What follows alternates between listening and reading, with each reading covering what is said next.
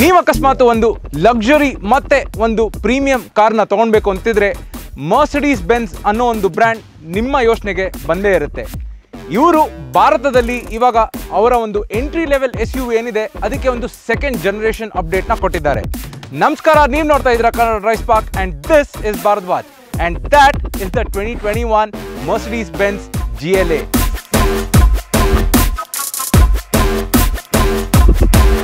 ಈ ಒಂದು ಮರ್ಸಿಡೀಸ್ ಬೆನ್ಸ್ನ ಎಂಟ್ರಿ ಲೆವೆಲ್ ಲಕ್ಸುರಿ ಕಾರ್ ಯಾವ ಥರ ಮ್ಯಾನುಫ್ಯಾಕ್ಚರ್ ಮಾಡಿದ್ದಾರೆ, ಯಾವ ಫೀಚರ್ಸ್ ಎಲ್ಲ ಕೊಟ್ಟಿದ್ದಾರೆ, ಮತ್ತೆ ಮೋಸ್ಟ್ ಆಫ್ ಆಲ್ ಯಾವ ಥರ ಇದೆ ಓಡಿಸೋದಕ್ಕೆ ಅಂತ ನಿಮಗೆ ಈ ವಿಡಿಯೋನ ತಿಳಿಸ್ಕೊಡ್ತೀನಿ. ಬನ್ನಿ, ಶುರು ಮಾಡೋಣ. ಸೊ ಈ ಕಾರ್ನ ಹೇಗಿದೆ ಓಡಿಸೋದಕ್ಕೆ ಅಂತ ಹೇಳಕ್ ಮುಂಚೆ ಇದರ ಒಂದು ಬ್ರೀಫ್ ಹಿಸ್ಟ್ರಿ ಕೊಡ್ತೀನಿ. ಈ ಒಂದು ಜಿ ಎಲ್ ಎ ಮಾಡೆಲ್ ಏನಿದೆ, ಇದನ್ನ ಭಾರತದಲ್ಲಿ ಟೂ ತೌಸಂಡ್ ತರ್ಟೀನಲ್ಲಿ ಮರ್ಸಿಡೀಸ್ ಅವರು ಲಾಂಚ್ ಮಾಡಿದ್ರು. ಮುಂಚೆ ಇದು ಒಂದು crossover S U V type ಆಗಿದ್ರೆ ಈ ಒಂದು ಸೆಕೆಂಡ್ ಜನ್ರೇಷನ್ಗೆ ಒಂದು ದೊಡ್ಡದಾಗಿ ಕಾಣುತ್ತೆ. ಮತ್ತೆ ಒಂದು ಎಸ್ ಯು ವಿ ಲುಕ್ ಏನು ಬರುತ್ತೆ, ಅದು ಇದಕ್ಕೆ ಇವಾಗ ಹೊಂದಿದೆ ಜೊತೆಗೆ ಇದರ ನೇಮ್ ಏನಿದೆ? ಜಿ ಎಲ್ ಎ ಸೊ ಇದು ಏನು ಡಿಫೈನ್ ಮಾಡುತ್ತೆ ಅಂತಂದರೆ ಜಿ ಎಲ್ ಅಂದರೆ ಗ್ರ್ಯಾಂಡ್ ಲಕ್ಸ್ ಸೊ ಇದೊಂದು ಜಿ ಸೀರೀಸ್ ಮರ್ಸಿಡೀಸ್ ಅವರ G series S U V ಆಗಿರೋದ್ರಿಂದ ಗ್ರ್ಯಾಂಡ್ ಲಕ್ಸ್ ಅಂತ ಕರೀತಾರೆ. ಬಟ್ ಆ್ಯಕ್ಚುಲಿ ಜಿ ವ್ಯಾಗನ್ ಅಂತ ನೀವೇನು ಕೇಳಿದ್ದೀರಾ ಅಥವಾ ನೋಡಿದ್ದೀರಾ? ಅದನ್ನ ಹೇಳಬೇಕು ಅಂದರೆ ಅದೊಂದು ಜರ್ಮನ್ ನೇಮ್ ಗಲ್ಯಾಂಡರ್ ಅಂತ ಏನು ಬರುತ್ತೆ? ಒಂದು ಆಫ್ ರೋಡ್ ಅಂತ ಅದ್ರ ಹೆಸರು. ಸೊ ಗಲ್ಯಾಂಡರ್ ವ್ಯಾಗನ್ ಅಂತ ಕರೀತಾರೆ ಬಟ್ ಆ ಒಂದು ಜಿ ಏನಿದೆ, ಇದು ಮೀನಿಂಗ್ ಬರಲ್ಲ. ಇದಕ್ಕೆ ಜಿ ಏನ್ ಅಂದರೆ ಗ್ರ್ಯಾಂಡ್ ಲಕ್ಸ್ ಮತ್ತು ಎ ಅಂದರೆ ಇವರ ಒಂದು starting variant or starting model A class ಅನ್ನೋದು. ಅದ್ರ ಜೊತೆಗೆ ಇವಾಗ ನೆಕ್ಸ್ಟ್ ಹೋಯ್ತು ಅಂದರೆ ಸಿ ಕ್ಲಾಸ್ ಬರುತ್ತೆ, ಮತ್ತು ಇ ಕ್ಲಾಸ್ ಬರುತ್ತೆ ಆ್ಯಂಡ್ ಫೈನಲಿ ಎಸ್ ಕ್ಲಾಸ್ ಬರುತ್ತೆ. ಸೊ ನಾನಾಗಲೇ ಹೇಳ್ದಂಗೆ ಇದೊಂದು entry level S U V ಭಾರತದಲ್ಲಿ ಮರ್ಸಿಡೀಸ್ ಬೆನ್ಸ್ ಕಡೆಯಿಂದ. ಇವಾಗ ಈ ಕಾರ್ನ ಒಂದು ಡೀಟೇಲ್ಸ್ ಬಗ್ಗೆ ಹೋಗೋಣ starting with the design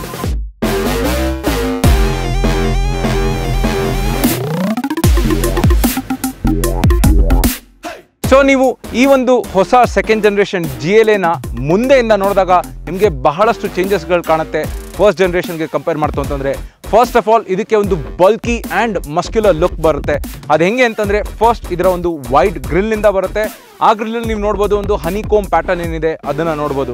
ಈ ಒಂದು ಪರ್ಟಿಕ್ಯುಲರ್ ಜಿ ಎಲ್ ಎ ನಿಮಗೆ ಮೂರು ವೇರಿಯಂಟಲ್ಲಿ ಸಿಗುತ್ತೆ. ಇದು ಪೆಟ್ರೋಲ್ ನಮ್ಮ ಮುಂದೆ ಇರೋದು. ಇದ್ರ ಜೊತೆ ಡೀಸೆಲ್ ಎರಡು ವೇರಿಯಂಟ್ ಕೂಡ ಇದೆ. ಅದು two hundred D and two hundred D M G line so ಆ ಒಂದು ಟಾಪ್ ಎಂಡ್ ವೇರಿಯಂಟಲ್ಲಿ ನಿಮಗೆ ಫೋರ್ ಮ್ಯಾಟಿಕ್ ಸಿಸ್ಟಮ್ ಕೂಡ ಬರುತ್ತೆ. ಇವಾಗ ಒಂದು ಫ್ರಂಟ್ ಡಿಸೈನ್ ಬಗ್ಗೆ ಮಾತಾಡಬೇಕು ಅಂದರೆ ಏನಕ್ಕೆ ಅದನ್ನು ಹೇಳಿದೆ ಅಂತಂದರೆ ಎ ಎಂ ಜಿ ಲೈನ್ಗೆ ಇದರ ಫ್ರಂಟ್ ಗ್ರಿಲ್ ಏನಿದೆ, ಅದು ಒಂದು ಕ್ರೋಮ್ ಸ್ಟಾರ್ಡ್ ಗ್ರಿಲ್ ಸಿಗುತ್ತೆ. ಬಟ್ ಇದು ಒಂದು ಪ್ರೋಗ್ರೆಸಿವ್ ಲೈನ್ ಆಗಿರೋದ್ರಿಂದ entry level variant of the G L A ಆಗಿರೋದ್ರಿಂದ, ಇದಕ್ಕೆ ಒಂದು ನಾರ್ಮಲ್ ಬ್ಲ್ಯಾಕ್ ಡೌಟ್ ಗ್ರಿಲ್ ಸಿಗುತ್ತೆ. ಅದ್ರ ಜೊತೆಗೆ ಇನ್ನು ಮುಂದೆ ನಿಮಗೆ ಗ್ರಿಲ್ಲನ್ನು ನೋಡಿದಾಗ large Mercedes logo piano black ಫಿನಿಷಲ್ಲಿದೆ ಮತ್ತು chrome element Mercedes pointed three pointed star ಇರೋದು. ಅದ್ರ ಜೊತೆ ನಿಮಗೆ ಒಂದು ಬಾರ್ ಒಂದು ಏನಿದೆ, ಅದನ್ನು ಅಕ್ರಾಸ್ ದ ಫ್ರಂಟ್ ಗ್ರಿಲ್ ನಿಮಗೆ ರನ್ ಆಗ್ತಾ ಇದೆ. ಅದರಲ್ಲಿ ನಿಮಗೆ ಅಗೇನ್ ಡ್ಯೂಯಲ್ ಟೋನ್ ಎಲಿಮೆಂಟ್ ಇದೆ. ಕೆಳಗಡೆ ಕ್ರೋಮ್ ಆಗಿದೆ ಮೇಲ್ಗಡೆ ನಿಮಗೆ ಒಂದು ಸಿಲ್ವರ್ ಫಿನಿಶ್ ಕೊಟ್ಟಿದ್ದಾರೆ. ಸೊ ಇದು ಫ್ರಂಟ್ ಪ್ರೊಫೈಲ್ನ ಗ್ರಿಲ್ ಇವಾಗ ನೀವು ಬೇರೆ ಒಂದಿಷ್ಟು ಎಲಿಮೆಂಟ್ಸ್ನ ನೋಡಬೇಕು ಅಂತಂದ್ರೆ ಕೆಳಗಡೆ ಬಂಪರಲ್ಲಿ ಬಂದಾಗ ನಿಮಗೆ ಒಂದು ಬ್ಲ್ಯಾಕ್ ಡೌಟ್ ಟ್ರೀಟ್ಮೆಂಟ್ ಇದೆ. ಯಾವುದೇ ಥರದ ಒಂದು ಫಾಗ್ ಲ್ಯಾಂಪ್ಸ್ ಎಲ್ಲ ಇಲ್ಲಿ. ನಾರ್ಮಲ್ ಬ್ಲ್ಯಾಕ್ ಡೌಟ್ ಟ್ರೀಟ್ಮೆಂಟ್ ಕೊಡುತ್ತೆ. ಮತ್ತೆ ಕೆಳಗಡೆ ನೀವು ನೋಡಿದಾಗ ಒಂದು ಕ್ರೋಮ್ ಫಿನಿಶ್ಡ್ ಸ್ಕಫ್ ಪ್ಲೇಟ್ಸ್ ಅಲ್ಲ ಪ್ರೊಟೆಕ್ಟಿವ್ ಪ್ಲೇಟ್ಸ್ ಏನು ಕರಿತೀವಿ, ಅದು ನೋಡೋಕೆ ಸಿಗುತ್ತೆ. Again these are for look ಅಷ್ಟು ಪ್ರೊಟೆಕ್ಟ್ ಮಾಡಲ್ಲ. ಸೊ ಅದೊಂದು ಫೀಚರ್ ಕೂಡ ಇದೆ ನಿಮಗೆ. ಇನ್ನು ಮೇಲ್ಗಡೆ ಬಂದಾಗ ಬಾನೆಟ್ ನಿಮ್ಗೇನಿದೆ, ಅಲ್ಲಿ ನಿಮಗೆ ತಿರ್ಗಾ ಇನ್ನೊಂದು ಮರ್ಸಿಡೀಸ್ ಬೆನ್ಸ್ ಲೋಗೋ ನೋಡೋಕ್ಕೆ ಸಿಗುತ್ತೆ. ಅದ್ರ ಜೊತೆಗೆ ಇದರ ಒಂದು ಯೂನಿಕ್ ಮಸ್ಕ್ಯುಲರ್ ಕ್ಯಾರೆಕ್ಟರಿಸ್ಟಿಕ್ಸ್ ಈ ಒಂದು ಬಾನೆಟಿಂದ ಬರ್ತಾ ಇದೆ. ಹಲವಾರು ಲೈನ್ಸ್ ಆ್ಯಂಡ್ ಕ್ರೀಸಸ್ ಜೊತೆ ನಿಮಗೆ ಇದೊಂದು ಮಸ್ಕ್ಯುಲರ್ ಲುಕ್ ಆಗಿ ಕಾಣುತ್ತೆ. ಇನ್ನ ಇದರ ಲೈಟಿಂಗ್ ಬಗ್ಗೆ ಮಾತಾಡ್ತಾ ನಿಮಗೆ ಮುಂದೆ ಏನ್ ನೋಡ್ತಾ ಇದ್ದೀರಾ? ಒಂದು fully L E D head lamp cluster ಇದರಲ್ಲಿ ನಿಮಗೆ ಲೋ ಬೀಮ್ ಏನಿದೆ? ಅದು ಒಂದು L E D project unit ಮತ್ತೆ ಹೈ ಬೀಮ್ ಏನಿದೆ? ಅದು ಒಂದು L D reflector unit D R L ನಿಮಗೆ ಟಾಪ್ ಮತ್ತೆ ಬಾಟಮ್ ಎರಡು ಕಡೆ ಸಿಗುತ್ತೆ. ಟಾಪ್ ಡಿ ಆರ್ ಎಲ್ ಏನಿದೆ? ಅದು dual functioning D R L ನೀವು ಅಕಸ್ಮಾತ್ ಇಂಡಿಕೇಟರ್ ಹಾಕಿದಾಗ ಡಿ ಆರ್ ಎಲ್ನಿಂದ ಅದು ಟರ್ನ್ ಸಿಗ್ನಲ್ ಇಂಡಿಕೇಟರ್ ಆಗಿ ವರ್ಕ್ ಆಗುತ್ತೆ. ಸೊ ಇದು ಮರ್ಸಿಡೀಸ್ ಬೆನ್ಸ್ನ ಜಿ ಎಲ್ ಫ್ರಂಟ್ ಪ್ರೊಫೈಲ್ ಮತ್ತೆ ಲೈಟಿಂಗ್ ಸಿಸ್ಟಮ್ ಇವಾಗ ಇದರ ಸೈಡ್ ಪ್ರೊಫೈಲ್ಗೆ ಹೋಗೋಣ, ಬನ್ನಿ. ಇನ್ನ ಸೈಡ್ ಪ್ರೊಫೈಲ್ನಿಂದ ನೋಡ್ತಾ ಈ ಕಾರು ನಿಮಗೆ ಆಕ್ಚುಲಿ ಅಲ್ಲಿ ಚೇಂಜ್ ಆಗಿರೋ ಒಂದು ಬಿಗ್ಗೆಸ್ಟ್ ಡಿಫ್ರೆನ್ಸ್ಗಳು ಕಾಣುತ್ತೆ. ಇದು ಇನ್ನ ಟಾಲ್ ಆಗಿದೆ, ಮತ್ತೆ ಇನ್ನ ಒಂದು ಲಾಂಗ್ ಆಗಿದೆ, ಮತ್ತೆ ವೈಡ್ ಆಗಿದೆ. ಎಲ್ಲಾನು ನಿಮಗೆ ಆ ಚೇಂಜಸ್ಗಳು ಇಲ್ಲಿ ಡಿಸ್ಟಿಂಕ್ಟಿವ್ ಆಗಿ ಕಾಣುತ್ತೆ. ಮತ್ತೆ ಇದರ ಒಂದು ರಿಚ್ ಲುಕ್ ಏನು ಮೇಂಟೈನ್ ಮಾಡಬೇಕು? ಮರ್ಸಿಡೀಸ್ ಅವರು ಒಂದು ಎಂಟ್ರಿ ಲೆವೆಲ್ ಕಾರ್ ಆಗಿದ್ರು ಅವರ ಒಂದು ಸ್ಟ್ಯಾಂಡರ್ಡ್ಸ್ನ ಮೇಂಟೈನ್ ಮಾಡಬೇಕಲ್ಲ. ಅದೇ ರೀತಿ ನಿಮಗೆ ಒಂದು ಕ್ರೋಮ್ ಟ್ರೀಟ್ಮೆಂಟ್ನ ಕೊಟ್ಟಿದ್ದಾರೆ, ಮತ್ತು ಬ್ಲ್ಯಾಕ್ ಡೌಟ್ ಪಿಲ್ಲರ್ಸ್ನ ಕೊಟ್ಟಿದ್ದಾರೆ. ಇದರಿಂದ ಒಂದು ಒಳ್ಳೆ ರಿಚ್ ಲುಕ್ ಇದೆ. ಮತ್ತು ಕೆಳಗಡೆ ನಿಮಗೆ ರನ್ನಿಂಗ್ ಬೋರ್ಡಲ್ಲಿ ಕೂಡ ಒಂದು ಕ್ಲಾಡಿಂಗ್ ಕೊಟ್ಟಿದ್ರು ನಿಮಗೆ ಒಂದು ಕ್ರೋಮ್ ಸ್ಟ್ರಿಪ್ನ ಕೊಟ್ಟಿದ್ದಾರೆ. ಇದರಿಂದ ಒಂದು ರಿಚ್ ಲುಕ್ ಏನಿದೆ, ಇದ್ರದ್ದು ಅದು ಎನ್ಹ್ಯಾನ್ಸ್ ಆಗುತ್ತೆ. ಮತ್ತು body coloured O R V Ms ಆಗಿರ್ಬೋದು, ಮತ್ತು ಬಾಡಿ ಕಲರ್ಡ್ ನಿಮಗೆ ರೋರ್ ಹ್ಯಾಂಡಲ್ಸ್ ಆಗಿರ್ಬೋದು, ಅದೆಲ್ಲ ಚೆನ್ನಾಗಿ ಕಾಣುತ್ತೆ.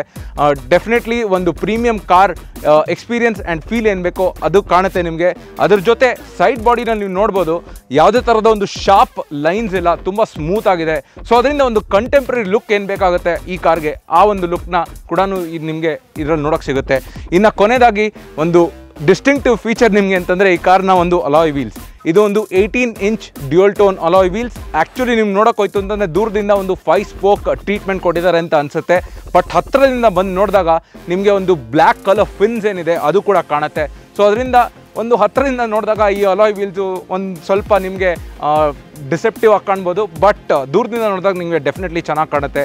ಬಟ್ ಸ್ಟಿಲ್ ಇನ್ನೊಂದು five spoke true five spoke unit ಕೊಡ್ಬೋದಾಗಿತ್ತು Mercedes ಅವರು ಈ ಒಂದು ಆಸ್ಪೆಕ್ಟಲ್ಲಿ ಇನ್ನು ಕೊನೆಯದಾಗಿ ಇದರ ಒಂದು ರೂಫ್ ರೇಲ್ಸ್ ಏನಿದೆ, ನೀವು ನೋಡ್ತಾ ಇದ್ದೀರಾ ಸಿಲ್ವರ್ ಕಲರ್ ರೂಫ್ ರೇಲ್ಸ್ ಇದು ಫಂಕ್ಷನಲ್ ರೂಫ್ ರೇಲ್ಸ್ ಎಸ್ ನೀವು ಇದ್ರ ಮೇಲೆ ಒಂದು ಲಗೇಜ್ ರ್ಯಾಕ್ನ ಮೌಂಟ್ ಮಾಡಿ ಲಗೇಜ್ ಮೌಂಟ್ ಮಾಡ್ಬೋದು, ಇಲ್ಲ ಅಂತಂದರೆ ಬೈಸಿಕಲ್ ಕೂಡ ಮೌಂಟ್ ಮಾಡ್ಬೋದು. ಆ ಒಂದು ಆಕ್ಸೆಸರೀಸ್ ಎಲ್ಲನೂ ನಿಮಗೆ ಮರ್ಸಿಡೀಸ್ ಕಡೆಯಿಂದನೇ ಪ್ರೊವೈಡ್ ಮಾಡ್ತಾ ಇದ್ದಾರೆ. ಇವಾಗ ಈ G L A rear profile ಬಗ್ಗೆ ಮಾತಾಡ್ತಾ ನಿಮಗೆ ಇದರಲ್ಲೂ ಆಗಿರೋ ಒಂದಿಷ್ಟು ಚೇಂಜಸ್ಗಳನ್ನ ತೋರಿಸ್ತೀನಿ ಮೊದಲನೇದಾಗಿ ಇದರ ಒಂದು ಸ್ಲೋಪಿಂಗ್ ರೂಫ್ ಲೈನ್ ಏನಿದೆ, ಅದನ್ನು ನೀವು ನೋಡ್ಬೋದು. ಒಂದು ರೇರ್ ವಿಂಡ್ಶೀಲ್ಡ್ ಏನಿದೆ, ಅದು ಕೂಡ ತುಂಬ ಸ್ಟ್ರಾಂಗ್ಲಿ ಆ್ಯಂಡ್ ಸ್ಟೀಪ್ಲಿ ರೇಕ್ಡ್ ಆಗಿದೆ. ಅದರಿಂದ ನಿಮಗೆ ಒಂದು ಸ್ಪೋರ್ಟಿ ಲುಕ್ ಬರುತ್ತೆ. ಬಟ್ ನಿಮಗೆ ಈ ಬಾಡಿ ಪ್ಯಾನಲ್ನ ರೇರ್ ಬಾಡಿ ಪ್ಯಾನಲ್ನ ನೋಡಿದಾಗ ತುಂಬ ಒಂದು ಕರ್ವೇಷಿಯಸ್ ಡಿಸೈನ್ ಏನಿದೆ, ಅದು ಕಂಡು ಬರುತ್ತೆ. ಒಂದು ಸ್ಟೀಲ್ ಲ್ಯಾಂಪ್ ಕೆಳಗಡೆ ಆಗಿರ್ಬೋದು ಕರ್ವ್ ಇಲ್ಲ ಅಂತಂದರೆ ಒಂದು ಓವರ್ ಆಲ್ ಬಂಪರಲ್ಲಿ ಆಗಿರ್ಬೋದು ಒಂದು ಕರ್ವಿ ಡಿಸೈನ್ನ ನಿಮಗೆ ಕಂಡು ಬರುತ್ತೆ. ಇನ್ನು ಈ ರೇರ್ ಪ್ರೊಫೈಲ್ನ ಫೀಚರ್ಸ್ ಬಗ್ಗೆ ಮಾತಾಡಬೇಕು ಅಂತಂದರೆ ನಿಮಗೆ ಒಂದು ಫಸ್ಟ್ ಇಂಟಿಗ್ರೇಟೆಡ್ ರೂ ಸ್ಪಾಯ್ಲರ್ ಸಿಗುತ್ತೆ. ಅದರಲ್ಲಿ ಸ್ಟಾಪ್ ಲ್ಯಾಂಪ್ ಕೂಡ ಇಂಟಿಗ್ರೇಟ್ ಆಗಿದೆ. ಮತ್ತು ಒಂದು split L E D tail lamp ಕೂಡ ನಿಮ್ಗೆ ನೋಡೋಕೆ ಬರುತ್ತೆ. ಈ split L E D tail lamp ಏನಕ್ಕೆ ಕೊಡ್ತಾರೆ ಅಂತಂದರೆ ಆ್ಯಕ್ಚುಲಿ ಇ ಯು ರೂಲ್ಸ್ ಅಂದರೆ ಯುರೋಪಿಯನ್ ಗೌರ್ಮೆಂಟ್ ಟ್ರಾಫಿಕ್ ರೂಲ್ಸ್ ಪ್ರಕಾರ ಟೇಲ್ ಲ್ಯಾಂಪ್ ಯಾವಾಗಲೂ ವಿಸಿಬಲ್ ಆಗಿರಬೇಕು. ಯಾಕೆಂತಂದರೆ ಹಿಂದೆ ಬರ್ತಿರೋ ಟ್ರಾಫಿಕ್ಗೆ ನಿಮ್ಮ ಕಾರ್ ಯಾವಾಗಲೂ ಕಂಡು ಬರಬೇಕು. ಅಕಸ್ಮಾತ್ ಇಡೀ ಟೇಲ್ ಲ್ಯಾಂಪ್ ಬೂಟ್ ಲಿಡ್ಡಲ್ಲೇ ಇತ್ತು ಅಂತಂದರೆ ಅದನ್ನು ಪ್ರೆಸ್ ಮಾಡಿ ಓಪನ್ ಮಾಡಿದಾಗ ಇಲ್ಲಿ ಯಾವುದೇ ಥರದ ಒಂದು ಟೇಲ್ ಇರಲ್ಲ. ಸೊ ಅದರಿಂದ ಇದ್ರ ಒಂದು ಸ್ಪ್ಲಿಟ್ ಟೇಲ್ ಲ್ಯಾಂಪ್ ಡಿಸೈನ್ನ ಆಟೋ ಮ್ಯಾನುಫ್ಯಾಕ್ಚರರ್ಸ್ ಅವರು ಫಾಲೋ ಮಾಡ್ತಾ ಇದ್ದಾರೆ. ಸೊ ಇದೊಂದು ಇಂಟ್ರೆಸ್ಟಿಂಗ್ ಫ್ಯಾಕ್ಟ್ ನಿಮಗೆ. ಅದ್ರ ಜೊತೆಗೆ ಇನ್ನು ಇದರ ಬಂಪರ್ ಬಗ್ಗೆ ಮಾತಾಡೋಣ. ನಿಮಗೆ ಡ್ಯೂಯಲ್ ಟೋನ್ ಬಂಪರ್ ಕಂಡು ಬರುತ್ತೆ. ಅದರಲ್ಲಿ ಒಂದು ಬ್ಲ್ಯಾಕ್ ಔಟ್ ಏನು ಎಲಿಮೆಂಟ್ ಇದೆ ಅದು ಕಂಡು ಬರುತ್ತೆ. ಅದ್ರ ಜೊತೆಗೆ ಕೆಳಗಡೆ ನಿಮಗೆ ಒಂದು chrome finished dual exhaust steps ಕಂಡು ಬರುತ್ತೆ. ಬಟ್ ಇದು ಒಂದು fake exhaust steps actual exhaust ನಿಮಗೆ ಇದರ ಕೆಳಗಡೆ ಡೌನ್ವರ್ಡ್ಸ್ ಆಗಿ ಒಂದು ಫೇಸಿಂಗ್ ಅಲ್ಲಿ ಎಕ್ಸಾಸ್ಟ್ನ ಕೊಟ್ಟಿದ್ದಾರೆ. ಮತ್ತೆ ಇದರ ಬ್ಯಾಡ್ಜಿಂಗ್ ಬಗ್ಗೆ ಮಾತಾಡಬೇಕು ಅಂತಂದ್ರೆ ನಿಮಗೆ ಒಂದು ಮರ್ಸಿಡೀಸ್ ಲೋಗೋ ಇಲ್ಲಿ ಕ್ರೋಮ್ ಫಿನಿಶ್ಡ್ ಅಲ್ಲಿ ಮರ್ಸಿಡೀಸ್ ಲೋಗೋ ಕಂಡು ಬರುತ್ತೆ. ಮತ್ತೆ G L A two hundred ಅನ್ನೋ ಒಂದು ವೇರಿಯಂಟ್ ಬ್ಯಾಡ್ಜಿಂಗ್ ಏನಿದೆ ಅದು ಕೂಡ ಕಂಡುಬರುತ್ತೆ ಬೂಟ್ ಲಿಡ್ಡಲ್ಲಿ ಇನ್ನು ಇದರ ರಿವರ್ಸ್ ಕ್ಯಾಮ್ರಾ ಬಗ್ಗೆ ಮಾತಾಡಬೇಕು ಅಂತಂದರೆ, ನೀವು ರಿವರ್ಸ್ಗೆ ಶಿಫ್ಟ್ ಮಾಡಿದಾಗ ಇಲ್ಲಿ ಒಂದು ಡೋರ್ ಇದೆ. ಆ ಡೋರ್ ಒಳಗಡೆಯಿಂದ ಪಾಪೌಟ್ ಆಗುತ್ತೆ ಕ್ಯಾಮ್ರಾ ಸೊ ಇದರಿಂದ ಏನಾಗುತ್ತೆ? ರಿವರ್ಸ್ ಕ್ಯಾಮ್ರಾ ಎಲ್ಲ ಟೈಮ್ ನಿಮಗೆ ಆಚೆ ಇರಲ್ಲ. ಧೂಳು ಮತ್ತು ನೀ ವಾಟರ್ ಸ್ಪ್ಲಾಶಿಂಗ್ ಏನಿರುತ್ತೆ, ಅದರಿಂದ ಎಲ್ಲ ಪ್ರೊಟೆಕ್ಟ್ ಆಗುತ್ತೆ. ಇದರ ಲೈಫ್ ಏನಿದೆ, ಅದು ಕೂಡ ಜಾಸ್ತಿ ಆಗುತ್ತೆ. ಮತ್ತು ಇದರ ಬೂಟ್ ಲಿಡ್ ಬಗ್ಗೆ ಮಾತಾಡ್ತಾ, ನಿಮಗೆ ಒಂದು ಬೂಟ್ ಸ್ಪೇಸ್ ಏನಿದೆ ಈ ಕಾರಲ್ಲಿ ಅದ್ರ ಬಗ್ಗೆ ಹೇಳ್ತೀನಿ. ಫಸ್ಟ್ ಆಫ್ ಆಲ್ ಬೂಟ್ನ ಓಪನ್ ಮಾಡೋದಕ್ಕೆ ನಿಮಗೆ ಮೂರು ಆಪ್ಷನ್ ಇದೆ. ಒಂದು ಡ್ರೈವರ್ ಸೈಡ್ ಡೋರಲ್ಲಿ ಕೆಳಗಡೆ ಬಾಟಲ್ ಹೋಲ್ಡರ್ ಹತ್ರ ನಿಮಗೆ ಒಂದು ಸ್ವಿಚ್ನ ಕೊಟ್ಟಿದ್ದಾರೆ, ಅದನ್ನು ಆಕ್ಟಿವೇಟ್ ಮಾಡಿ ಓಪನ್ ಮಾಡ್ಬೋದು. ಮತ್ತು ನಿಮ್ಮ ಕೀ ಫಾಬ್ ಏನಿದೆ, ಅದರಲ್ಲಿ ಕೂಡ ಒಂದು ಬಟನ್ ಇದೆ, ಅದನ್ನು ಒತ್ತಿದ್ರೆ ಆಟೋಮ್ಯಾಟಿಕ್ ಆಗಿ ಟೇಲ್ ಗೇಟ್ ಓಪನ್ ಆಗುತ್ತೆ, ಮತ್ತು ತಿರ್ಗಾ ಕ್ಲೋಸ್ ಕೂಡ ಮಾಡ್ಬೋದು. ಮತ್ತು ಕೊನೆಯದಾಗಿ ಇಲ್ಲಿ ಒಂದು ರಿಕ್ವೆಸ್ಟ್ ಸೆನ್ಸರ್ ಇದೆ, ಅದನ್ನು ಒತ್ತಿದಾಗ ನಿಮಗೆ ಅಗೇನ್ ಬೂಟ್ ಓಪನ್ ಆಗಿ ಕ್ಲೋಸ್ ಆಗುತ್ತೆ. ಇದು ಒಂದು automatic boot everything is electronically operated ಇವಾಗ ಈ ಬೂಟ್ನ ಓಪನ್ ಮಾಡೋಣ. ಸೊ ಇಲ್ಲೊಂದು ರಿಕ್ವೆಸ್ಟ್ ಸೆನ್ಸರ್ ಇದೆ, ಇದನ್ನು ಪ್ರೆಸ್ ಮಾಡಿದಾಗ ನಿಮಗೆ ಆಟೋಮ್ಯಾಟಿಕ್ ಆಗಿ ಬೂಟ್ ರೇಸ್ ಆಗುತ್ತೆ. ಇದರಲ್ಲಿ ನಿಮಗೆ four hundred and thirty five litres of boot ಸ್ಪೇಸ್ನ ಕೊಟ್ಟಿದ್ದಾರೆ. ಬಟ್ ನೀವಿಲ್ಲಿ ನೋಡ್ತಿದ್ದಂಗೆ most of it is taken by the spare tyre ಇದರಲ್ಲಿ ಒಂದು ಸ್ಪೇಸ್ ಸೇವರ್ ಸ್ಪೇರ್ ಟೈರ್ ಕೊಟ್ಟಿದ್ದಾರೆ. ಅರ್ಧಕ್ಕಿಂತ ಜಾಸ್ತಿ ಬೂಟ್ ಸ್ಪೇಸ್ನ ತಿನ್ಬಿಡ್ತಾ ಇದೆ. ಅದರಿಂದ ನೀವು ಲಾಂಗ್ ಜರ್ನೀಸ್ಗೆ ಇದನ್ನ ತೊಗೊಂಡು ಹೋಗ್ತಾ ಇದ್ದೀರಾ ಅಂತಂದರೆ you have to choose spare tyre ಬೇಕಾ, ಇಲ್ಲ ಅಂತಂದರೆ ಲಗೇಜ್ ಲೈಟಾಗಿ ಪ್ಯಾಕ್ ಮಾಡಬೇಕಾ ಅಂತ ಚೂಸ್ ಮಾಡಬೇಕಾಗುತ್ತೆ ನೀವು.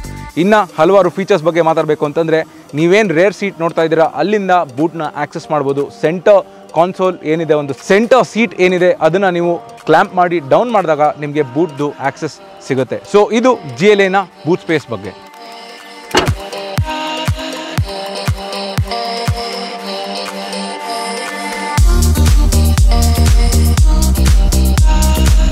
ಇವಾಗ ನಾವು ಮರ್ಸಿಡೀಸ್ ಬೆನ್ಸ್ ಜೆ ಎಲ್ ಎನ ಒಳಗಡೆ ಬಂದು ಕೂತಿದ್ದೀವಿ. ಇವಾಗ ಇದರ ಇಂಟೀರಿಯರ್ಸ್ ಫೀಚರ್ಸ್ ಮತ್ತೆ ಇದರ ಡಿಸೈನ್ ಓವರ್ ಆಲ್ ಡಿಸೈನ್ ಏನಿದೆ ಬಂದು ಪ್ಯಾಕೇಜಿಂಗ್ ಏನು ಮಾಡಿದ್ದಾರೆ ಇಂಟೀರಿಯರ್ಸ್ ಕಡೆಯಿಂದ ಅದನ್ನ ಒಂದು ತಿಳಿಸ್ಕೊಡ್ತೀನಿ ನಿಮಗೆ.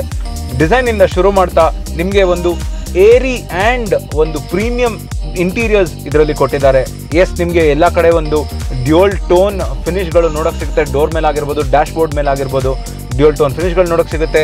ಮೇಲ್ಗಡೆ ನೀವು ಆ್ಯಕ್ಚುಲಿ ನೋಡ್ತಿರೋಂಗೆ ಇಲ್ಲಿ ಒಂದು soft touch plastic black colour soft touch ಪ್ಲಾಸ್ಟಿಕ್ನ ಕೊಟ್ಟಿದ್ದಾರೆ. ಕೆಳಗಡೆ ನಿಮಗೆ ಒಂದು ಹಾರ್ಡ್ ಪ್ಲಾಸ್ಟಿಕ್ ಬೇಜ್ ಕಲರ್ ಅಲ್ಲಿ ಕೊಟ್ಟಿದ್ದಾರೆ. ಸೊ ಇದರಿಂದ ಒಂದು ಡ್ಯೂಲ್ ಟೋನ್ ಫಿನಿಶ್ ನಿಮಗೆ ಮ್ಯಾಚ್ ಆಗ್ತಾ ಇದೆ. ಮತ್ತೆ ಅಲ್ಲಿ ಇಲ್ಲಿ ನಿಮಗೆ ವುಡ್ ಪ್ಯಾನಲ್ ಕೂಡ ಕೊಟ್ಟಿದ್ದಾರೆ. ಡ್ಯಾಶ್ ಬೋರ್ಡಲ್ಲಿ ನೋಡೋಕೆ ಸಿಗುತ್ತೆ. ಮತ್ತೆ ಡೋರ್ ಪ್ಯಾನಲ್ ಏನಿದೆ, ಅಲ್ಲಿ ಕೂಡ ನಿಮಗೆ ಒಂದು ವುಡ್ ಫಿನಿಶ್ ವುಡ್ ಟ್ರಿಮ್ ನೋಡೋಕೆ ಸಿಗುತ್ತೆ. ಸೊ ಇದು ಒಂದು ಏರಿ ಫೀಲ್ಗೆ ಒಂದು ಪ್ರೀಮಿಯಂ ಫೀಲ್ಗೆ ಆಡ್ ಆಗುತ್ತೆ. ಮತ್ತೆ ಇದರ ಒಂದು ಬೇಜ್ ಸೀಟ್ ಕಲರ್ ಅಪೋಲ್ಸ್ಟ್ರಿ ಏನಿದೆ, ಅದು ಕೂಡ ಒಂದು ಪ್ರೀಮಿಯಂ ಫೀಲ್ ಮತ್ತೆ ಏರಿ ಫೀಲ್ಗೆ ಆಡ್ ಆಗುತ್ತೆ. ಬಟ್ ಇದರ ಒಂದು ಬಿಗ್ಗೆಸ್ಟ್ ಏರಿ ಫೀಲಿಂಗ್ ಪ್ರೀಮಿಯಂ ಫೀಚರ್ ನಿಮಗೆ ಒಂದು ಲೈಟ್ನೆಸ್ ಫೀಲ್ ಆಗೋದಕ್ಕೆ ಅಂತಂದರೆ ಇದರ ಒಂದು dual pane panoramic sunroof ಇದನ್ನು ಇವಾಗ ಓಪನ್ ಮಾಡ್ತೀನಿ. ನೀವು ಆ್ಯಕ್ಚುಲಿ ಓಪನ್ ಮಾಡಿದಾಗ ನಿಮ್ಗೆ ಗೊತ್ತಾಗುತ್ತೆ ಒಂದು ಎಷ್ಟು ಲೈಟ್ ಇದರಲ್ಲಿ ಒಂದು ಬಂದು ನಿಮಗೆ ಬ್ಯೂಟಿಫುಲ್ ಒಂದು ಸೆರೀನ್ ಎಕ್ಸ್ಪೀರಿಯನ್ಸ್ನ ಕೊಡುತ್ತೆ ಈ ಜಿ ಎಲ್ ಎನಲ್ಲಿ ಎಸ್ಪೆಷಲಿ ಒಳಗಡೆ ಕೂತಾಗ, ಮತ್ತೆ ಈ ಒಂದು ಸನ್ ಶೇಡ್ ಇದೆ, ಅದನ್ನು ಪ್ಯಾನರಾಮಿಕ್ ಸನ್ ಶೇಡ್ ಅದನ್ನು ಓಪನ್ ಮಾಡಿದಾಗ. ಅದ್ರ ಜೊತೆಗೆ ಇದರ ಒಂದು ಡಿಸೈನ್ ಬೇರೆ ಒಂದು ಎಲಿಮೆಂಟ್ಸ್ನ ಡಿಸೈನ್ ಏನಿದೆ, ಅದ್ರ ಬಗ್ಗೆ ಮಾತಾಡ್ತೀನಿ. ಶುರು ಮಾಡ್ತಾ, ಈ ಒಂದು ಎ ಸಿ ವೆಂಟ್ಸ್ ಏನಿದೆ, ಅದನ್ನು ನೀವು ನೋಡ್ಬೋದು. ಬ್ರಸ್ಟ್ ಅಲ್ಯೂಮಿನಿಯಂ ಫಿನಿಶ್ ಒಂದು, ಮತ್ತೆ ಇದು ಟರ್ಬೈನ್ ಸ್ಟೈಲ್ ಏರ್ ವೆಂಟ್ಸ್ ಅನ್ನು ಕೊಟ್ಟಿದ್ದಾರೆ. ಇದು ಒಂದು ಭಾಳನೇ ಅಟ್ರಾಕ್ಟಿವ್ ಫೀಚರ್ ನನಗಂತೂ ಸಖತ್ತು. ಇದನ್ನು ಏರ್ ಫ್ಲೋ ಮಾಡಬೇಕು ಅಂತಂದರೆ ನೀವು ಈ ಕಡೆ ಟ್ವಿಸ್ಟ್ ಮಾಡಿದ್ರೆ ಏರ್ ಫ್ಲೋ ಕಟ್ ಆಫ್ ಆಗುತ್ತೆ.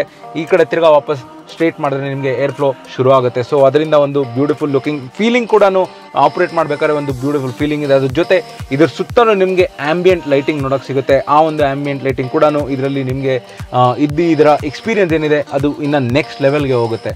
ಜೊತೆಗೆ ಇವಾಗ ಫೀಚರ್ಸ್ ಬಗ್ಗೆ ಮಾತಾಡ್ತಾ ಬಿಗ್ಗೆಸ್ಟ್ ಫೀಚರ್ ಇದರಲ್ಲಿ ನಿಮಗೆ ನೋಡೋಕೆ ಸಿಗೋದು ಅಂತಂದರೆ ಇದರ ಒಂದು ಸಿಂಗಲ್ ಪೇನ್ ಗ್ಲಾಸ್ ಸ್ಲ್ಯಾಬ್ ಏನಿದೆ, ನಿಮ್ಮ ಮುಂದೆ ಅದು ಕಂಡು ಬರುತ್ತೆ. ಇದರಲ್ಲಿ ten point two five inch infotainment system ಮತ್ತು ten point two five inch instrument cluster ಎರಡೂ ನೋಡೋಕೆ ಸಿಗುತ್ತೆ. ಇನ್ಸ್ಟ್ರೂಮೆಂಟ್ ಕ್ಲಸ್ಟರ್ ಬಗ್ಗೆ ಮಾತಾಡ್ತಾ ನಿಮಗೆ ಇದು ಹೈಲಿ ಕಸ್ಟಮೈಸಬಲ್ ಇನ್ಸ್ಟ್ರೂಮೆಂಟ್ ಕ್ಲಸ್ಟರ್ ಇದರ ಕಂಪ್ಲೀಟ್ ಡೀಟೇಲ್ಸ್ ನಿಮಗೆ ಒಂದು ಸಪ್ರೇಟ್ ವಿಡಿಯೋ ಮಾಡಿ, ಇದರ ಕಂಪ್ಲೀಟ್ ಫೀಚರ್ಸ್ ನಿಮಗೆ ತಿಳಿಸ್ಕೊಡ್ತೀನಿ. ಒಂದು ಸಪ್ರೇಟ್ ವಿಡಿಯೋ ಈ ಒಂದು ರಿವ್ಯೂ ವಿಡಿಯೋ ಜೊತೆನೇ ರಿಲೀಸ್ ಮಾಡ್ತೀವಿ. ಅದರಲ್ಲಿ ನಿಮಗೆ ಫುಲ್ ಕಸ್ಟಮೈಸೇಷನ್ ಆಪ್ಷನ್ಸ್ನ ತೋರಿಸ್ತೀನಿ.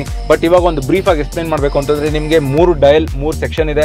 ಆ ಮೂರು ಡಯಲಲ್ಲಿ ನೀವು ಮೂ, ಯಾವುದೇ ಥರದ ಒಂದು ಕಸ್ಟಮೈಸೇಷನ್ ಆಪ್ಷನ್ ಸೆವೆರಲ್ ಡಯಲ್ಸ್ ಇದೆ, ಅದನ್ನು ಚೂಸ್ ಮಾಡ್ಬೋದು. ಅಕಸ್ಮಾತ್ ನೀವು ನ್ಯಾವಿಗೇಷನ್ ಯೂಸ್ ಮಾಡ್ತಾ ಇದ್ರೆ ಒಂದು ಕಡೆ ನ್ಯಾವಿಗೇಷನ್ ಒಂದು ಕಡೆ ಸ್ಪೀಡೋಮೀಟರ್ ಮತ್ತು ಮಧ್ಯದಲ್ಲಿ ನಿಮಗೆ ಫ್ಯೂಲ್ ಎಫಿಷಿಯನ್ಸಿ ಎಷ್ಟು ಕಂಡ್ಕೋಬೇಕು ಅಂತಂದರೆ ಅದೆಲ್ಲನೂ ನಿಮಗೆ ಇನ್ಫಾರ್ಮೇಷನ್ ಇದರಲ್ಲಿ ಸಿಗುತ್ತೆ.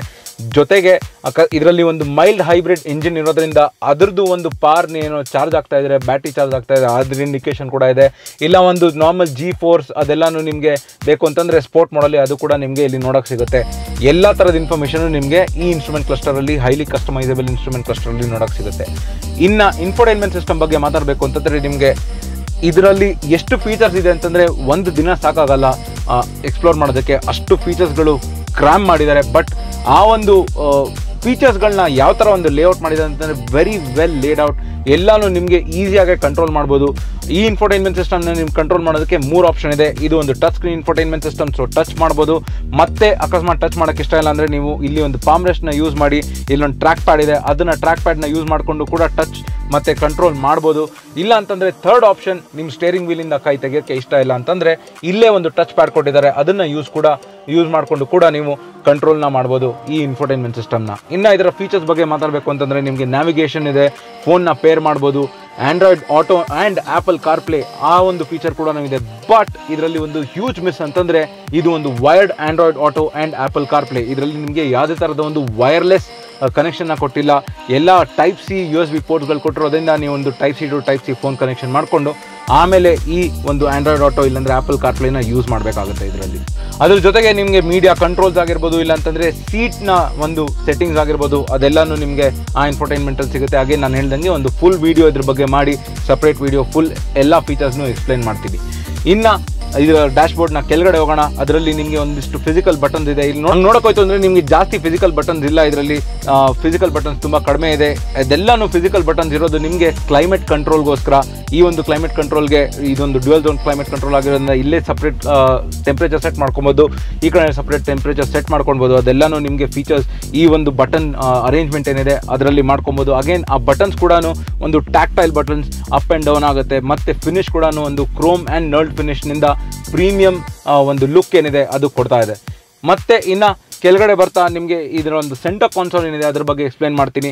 ಸೆಂಟರ್ ಕಾನ್ಸೋಲ್ನ ಫಸ್ಟು ನಿಮಗೆ ಒಂದು ಡಿಸೈನ್ ಏನು ಹೇಳಬೇಕು ಅಂತಂದರೆ ಇವಾಗ ನೋಡ್ತಾ ಇದ್ದಾರೆ, ಒಂದು ಸೀಮ್ಲೆಸ್ ಡಿಸೈನ್ ಯಾಕೆಂತಂದರೆ ಈ ಒಂದು ಫ್ಲ್ಯಾಪ್ ನಿಮಗೆ ಫುಲ್ ಕವರ್ ಆಗಿ ಒಂದು ಒಳ್ಳೆ ಫೀಚರ್ನ ಕೊಡುತ್ತೆ, ಒಂದು ಕ್ಲೀನ್ ಲುಕ್ನ ಕೊಡುತ್ತೆ. ಅಕಸ್ಮಾತ್ ನೀವು ಕಪ್ ಹೋಲ್ಡರ್ಸ್ ಯೂಸ್ ಮಾಡಬೇಕು ಅಂತಂದರೆ ಈ ಫ್ಲಾಪ್ನ ಹಿಂದೆ ತಳ್ಳಿ, ನಿಮಗೆ ಕಪ್ ಹೋಲ್ಡರ್ಸ್ ಯೂಸ್ ಮಾಡ್ಬೋದು. ಇಲ್ಲಿ ಎರಡು ಕಪ್ ಹೋಲ್ಡರ್ ಕೊಟ್ಟಿದ್ದಾರೆ. ಮತ್ತೆ ಅಕಸ್ಮಾತ್ ನಿಮ್ಮ ಕೀ ಫಾಬ್ ನೀವು ಎಲ್ಲಿಡಬೇಕು ಮತ್ತೆ ಜೋಬಲ್ ಇಟ್ಕೋಬೋದು ಅಂತಂದರೆ ಇಲ್ಲಿ ಕೂಡ ನಿಮ್ಗೊಂದು ಡೆಡಿಕೇಟೆಡ್ ಸ್ಪೇಸ್ ಕೊಟ್ಟಿದ್ದಾರೆ. ಅಲ್ಲಿ ಕೀ ಫಾಬ್ನ ಇಡ್ಬೋದು.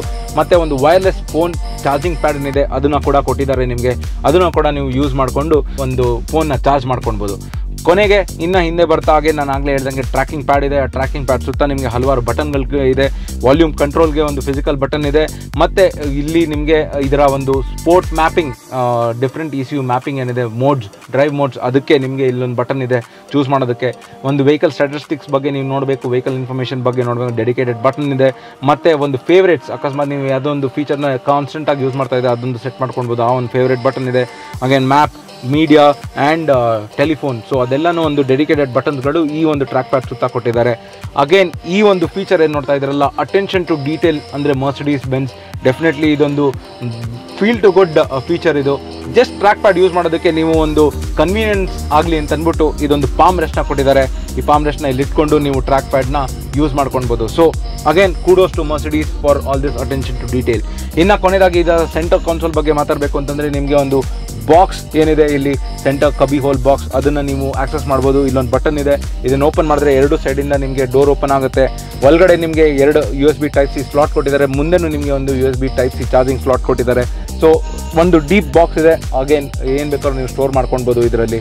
ಸೊ ಅಗೇನ್ ಇದೊಂದು ಸ್ಟೋರೇಜ್ ಸ್ಪೇಸ್ ಆಯಿತು. ಇನ್ನು ಸ್ಟೋರೇಜ್ ಸ್ಪೇಸ್ ಬಗ್ಗೆ ಮಾತಾಡಬೇಕು ಅಂದರೆ ಮುಂದೆ ನಿಮಗೆ ಈ ಒಂದು ಕಬಿ ಹೋಲ್ದಲ್ಲೇ ಕಪ್ ಹೋಲ್ಡರ್ಸ್ ಇದೆ ಮತ್ತು ಡೋರ್ ಸೈಡ್ ಪಾಕೆಟ್ಸಲ್ಲೂ ಕೂಡ ತುಂಬ ಡೀಪ್ ಪಾಕೆಟ್ಸ್ ಇದೆ. ಒನ್ ಲೀಟರ್ ಬಾಟಲ್ ಡೆಫಿನೆಟ್ಲಿ ಹಿಡಿಸುತ್ತೆ ಮತ್ತು ಅಂಬ್ರೇಲಾ ಹೋಲ್ಡರ್ಸ್ ಕೂಡ ನಿಮಗೆ ಕೊಟ್ಟಿದ್ದಾರೆ. ಸೊ ಅದೆಲ್ಲನೂ ನಿಮಗೆ ಕನ್ವೀನಿಯನ್ಸ್ಗೆ ಏನಿದೆ ಅದು ಆ್ಯಡ್ ಆಗುತ್ತೆ.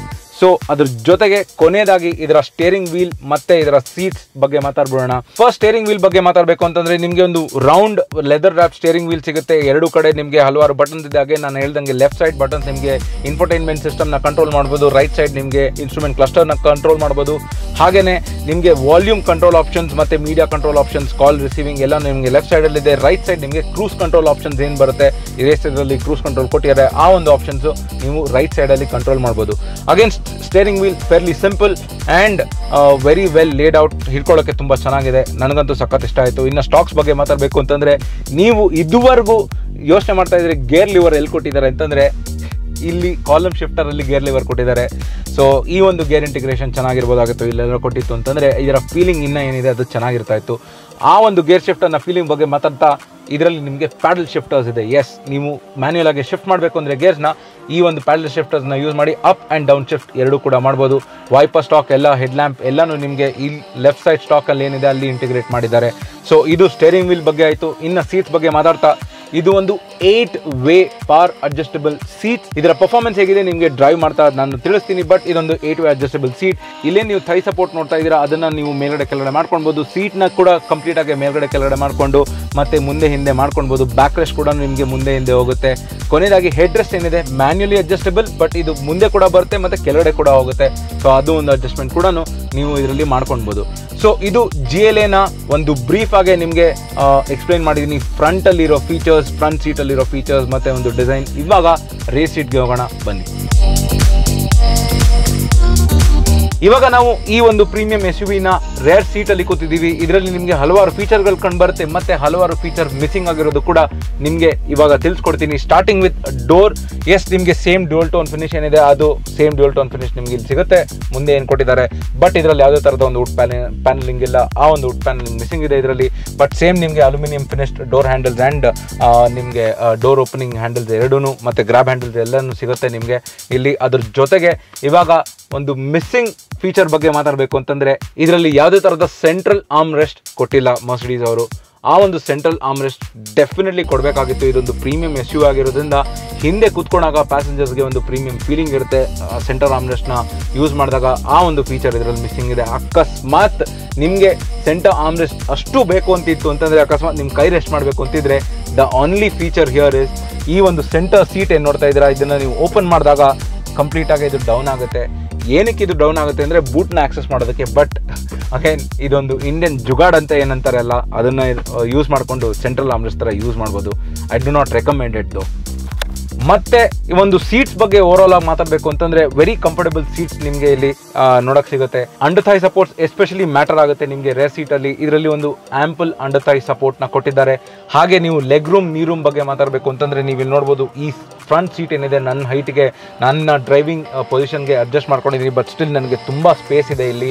ಮತ್ತು ಕಾಲ್ ಕೂಡ ನಾನು ಸೀಟ್ ಕೆಳಗಡೆ ಇನ್ನೂ ಎಕ್ಸ್ಟೆಂಡ್ ಮಾಡ್ಕೊಳ್ಬೋದು. ಮತ್ತು ಹೆಡ್ ರೂಮ್ ಏನು ನೋಡ್ತಾ ಇದ್ದೀರಾ, ಅದು ಕೂಡ ತುಂಬ ಚೆನ್ನಾಗಿದೆ. ಹೆಡ್ ರೂಮ್ ನಿಮಗೆ ಒಳ್ಳೆ ಸ್ಪೇಸ್ ಸಿಗುತ್ತೆ ಇಲ್ಲಿ. ಮತ್ತು ರೀಡಿಂಗ್ ಲ್ಯಾಂಪ್ಸ್ ಅದೆಲ್ಲನೂ ಒಂದು ಅಮ್ಯುನಿಟೀಸ್ಗಳಿಂದ ಈ ರೇರ್ ಸೀಟ್ ಏನಿದೆ ಕೂತ್ಕೊಳ್ಳೋದಕ್ಕೆ, ಮತ್ತು ಒಂದು ಲಾಂಗ್ ಜರ್ನೀಸ್ ಹೋಗೋದಕ್ಕೆ.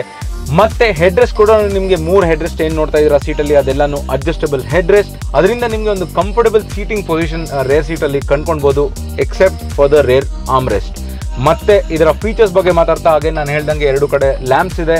ಮತ್ತೆ ಒಂದು ಇಲ್ಲಿ ಕೂಡ ಗ್ಲಾಸ್ ಪ್ಯಾನಲ್ ಇದೆ. ಸೊ ಅದರಿಂದ ನಿಮಗೆ ಒಂದು ಲೈಟ್ ಏನಿದೆ ಇದು ಶೇಡ್ ಓಪನ್ ಮಾಡಿದಾಗ ಇನ್ನೊಂದು ಸ್ವಲ್ಪ ಲೈಟ್ ಸಿಗುತ್ತೆ. ಅಗೇನ್ ಒಂದು ಏರಿ ಫೀಲಿಂಗ್ನ ಕ್ರಿಯೇಟ್ ಮಾಡುತ್ತೆ. ಜೊತೆಗೆ ಏರಿ ಫೀಲಿಂಗ್ ಬಗ್ಗೆ ಮಾತಾಡ್ತಾ ಕಂಫರ್ಟ್ ನಿಮಗೆ ಇದರಲ್ಲಿ ಎರಡು ರೇರ್ ಎ ಸಿ ವೆಂಟ್ ಸಿಗುತ್ತೆ. ಇದರಲ್ಲಿ ಯಾವುದೇ ಥರದ ಟೆಂಪ್ರೇಚರ್ ಕಂಟ್ರೋಲ್ ಆಗಲಿ ಇಲ್ಲ ಬ್ಲೋರ್ ಸ್ಪೀಡ್ ಕಂಟ್ರೋಲ್ ಆಗಲಿ ಇಲ್ಲ. ಮುಂದೆ ಏನಿರುತ್ತೋ ಅದೇ ಸೇಮ್ ಟೆಂಪ್ರೇಚರ್ ಅದೇ ಬ್ಲೂ ಸೇಮ್ ಬ್ಲೋರ್ ಸ್ಪೀಡ್ ನಿಮಗೆ ಇಲ್ಲಿ ಸಿಗುತ್ತೆ. ಇನ್ನು ಚಾರ್ಜಿಂಗ್ ಆಪ್ಷನ್ಸ್ ಬಗ್ಗೆ ಮಾತಾಡಬೇಕು ಅಂದರೆ ಫೋನ್ ಚಾರ್ಜಿಂಗ್ ಆಪ್ಷನ್ಸ್ ನಿಮಗೆ ಒಂದು U S B one single U S B type C port ಅಲ್ಲಿ ಕೆಳಗಡೆ ಕೊಟ್ಟಿದ್ದಾರೆ. ಮತ್ತೆ ಇಲ್ಲೊಂದು ಹೋಲ್ ಕಬಿ ಹೋಲ್ ಇದೆ. ಏನೋ ಒಂಚೂರು ಇಟ್ಕೊಳ್ಬೋದು.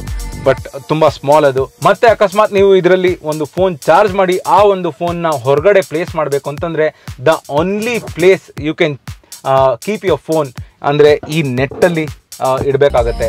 ಸೊ ಅಗೇನ್ ಈ ಒಂದು ನೆಟ್ ಅರೇಂಜ್ಮೆಂಟ್ ಕೂಡ ತುಂಬ ಚೆನ್ನಾಗಿರ್ಬೋದಾಗಿತ್ತು. ಒಂದು ಲೆದರ್ ಪೀಸ್ ಕೊಡ್ಬೋದಾಗಿತ್ತು. ಮತ್ತೆ ಇದರಲ್ಲಿ ಒಂದು ಹಾರ್ಡ್ ಪ್ಲಾಸ್ಟಿಕ್ ನಿಮಗೆ ನೋಡೋಕೆ ಸಿಗುತ್ತೆ. ಈ ಒಂದು ಹಾರ್ಡ್ ಪ್ಲಾಸ್ಟಿಕ್ನ ಕೂಡ ಅವರು ಇಂಪ್ರೂವ್ ಮಾಡ್ಬೋದಾಗಿತ್ತು. ಬಟ್ ಈ ಒಂದು ಸೀಟ್ ಸ್ಕಲ್ಪ್ಟ್ ಏನು ಮಾಡಿದ್ದಾರೆ, ಅದರಿಂದ ನಿಮಗೆ ಒಂದು ಲೆಗ್ ರೂಮ್ ಇನ್ನೂ ಒಂದು ಸ್ವಲ್ಪ ಇಂಪ್ರೂವ್ ಆಗಿದೆ. So kudos to Mercedes for that ಮತ್ತೆ ಈ ಒಂದು S U V five seater S U V ನಿಮಗೆ ಹಿಂದೆ ಮೂರು ಜನ ಕೂತ್ಕೊಳ್ಳೋದಕ್ಕೆ ಪ್ರಾವಿಷನ್ ಇದೆ. ಬಟ್ ಅಕಸ್ಮಾತ್ ಮಧ್ಯದಲ್ಲಿ ಯಾರೋ ಒಬ್ರು ಕೂತ್ಕೊಂತು ಅಂತಂದ್ರೆ, ಈ ಒಂದು ಟ್ರಾನ್ಸ್ಮಿಷನ್ ಟನಲ್ ಏನು ಹೋಗ್ತಾ ಇದೆ, ಅದು ತುಂಬಾ ಮೇಲ್ಗಡೆ ಇರೋದ್ರಿಂದ ಕೂತ್ಕೊಳ್ಳೋಕೆ ತುಂಬಾ ತೊಂದರೆ ಆಗುತ್ತೆ. ಲಾಂಗ್ ಡಿಸ್ಟೆನ್ಸಸ್ ಅಂತೂ ನಿಮ್ಮ ಕಾಲ್ನ ಎರಡು ಕಡೆ ಸ್ಪ್ರೆಡ್ ಮಾಡಬೇಕಾಗುತ್ತೆ. ಸೊ ಅದರಿಂದ ಒಂದು ಸ್ವಲ್ಪ ಅನ್ಕಂಫರ್ಟಬಲ್ ಫೀಲಿಂಗ್ ಆದರೂ ಆಗ್ಬೋದು. ಐ ಫೀಲ್ ಈ ಒಂದು ಮಿಡಲ್ ಸೀಟ್ ಒಂದು ಚಿಲ್ಡ್ರನ್ ಏನಿರ್ತಾರೆ ಅವ್ರಿಗೆ ಸೂಟಬಲ್ ಅಂತ ಹೇಳಕ್ಕೆ ಇಷ್ಟಪಡ್ತೀನಿ. ಸೊ ಇದು Mercedes Benz G L interiors front seat and rear seat ನಿಮಗೆ ಈ ಒಂದು ಇಂಟೀರಿಯರ್ಸ್ನ ನೋಡಿ ಏನು ಅನಿಸ್ತು ಅಂತ ಕಮೆಂಟ್ ಸೆಕ್ಷನ್ ಅಲ್ಲಿ ತಿಳಿಸಿ.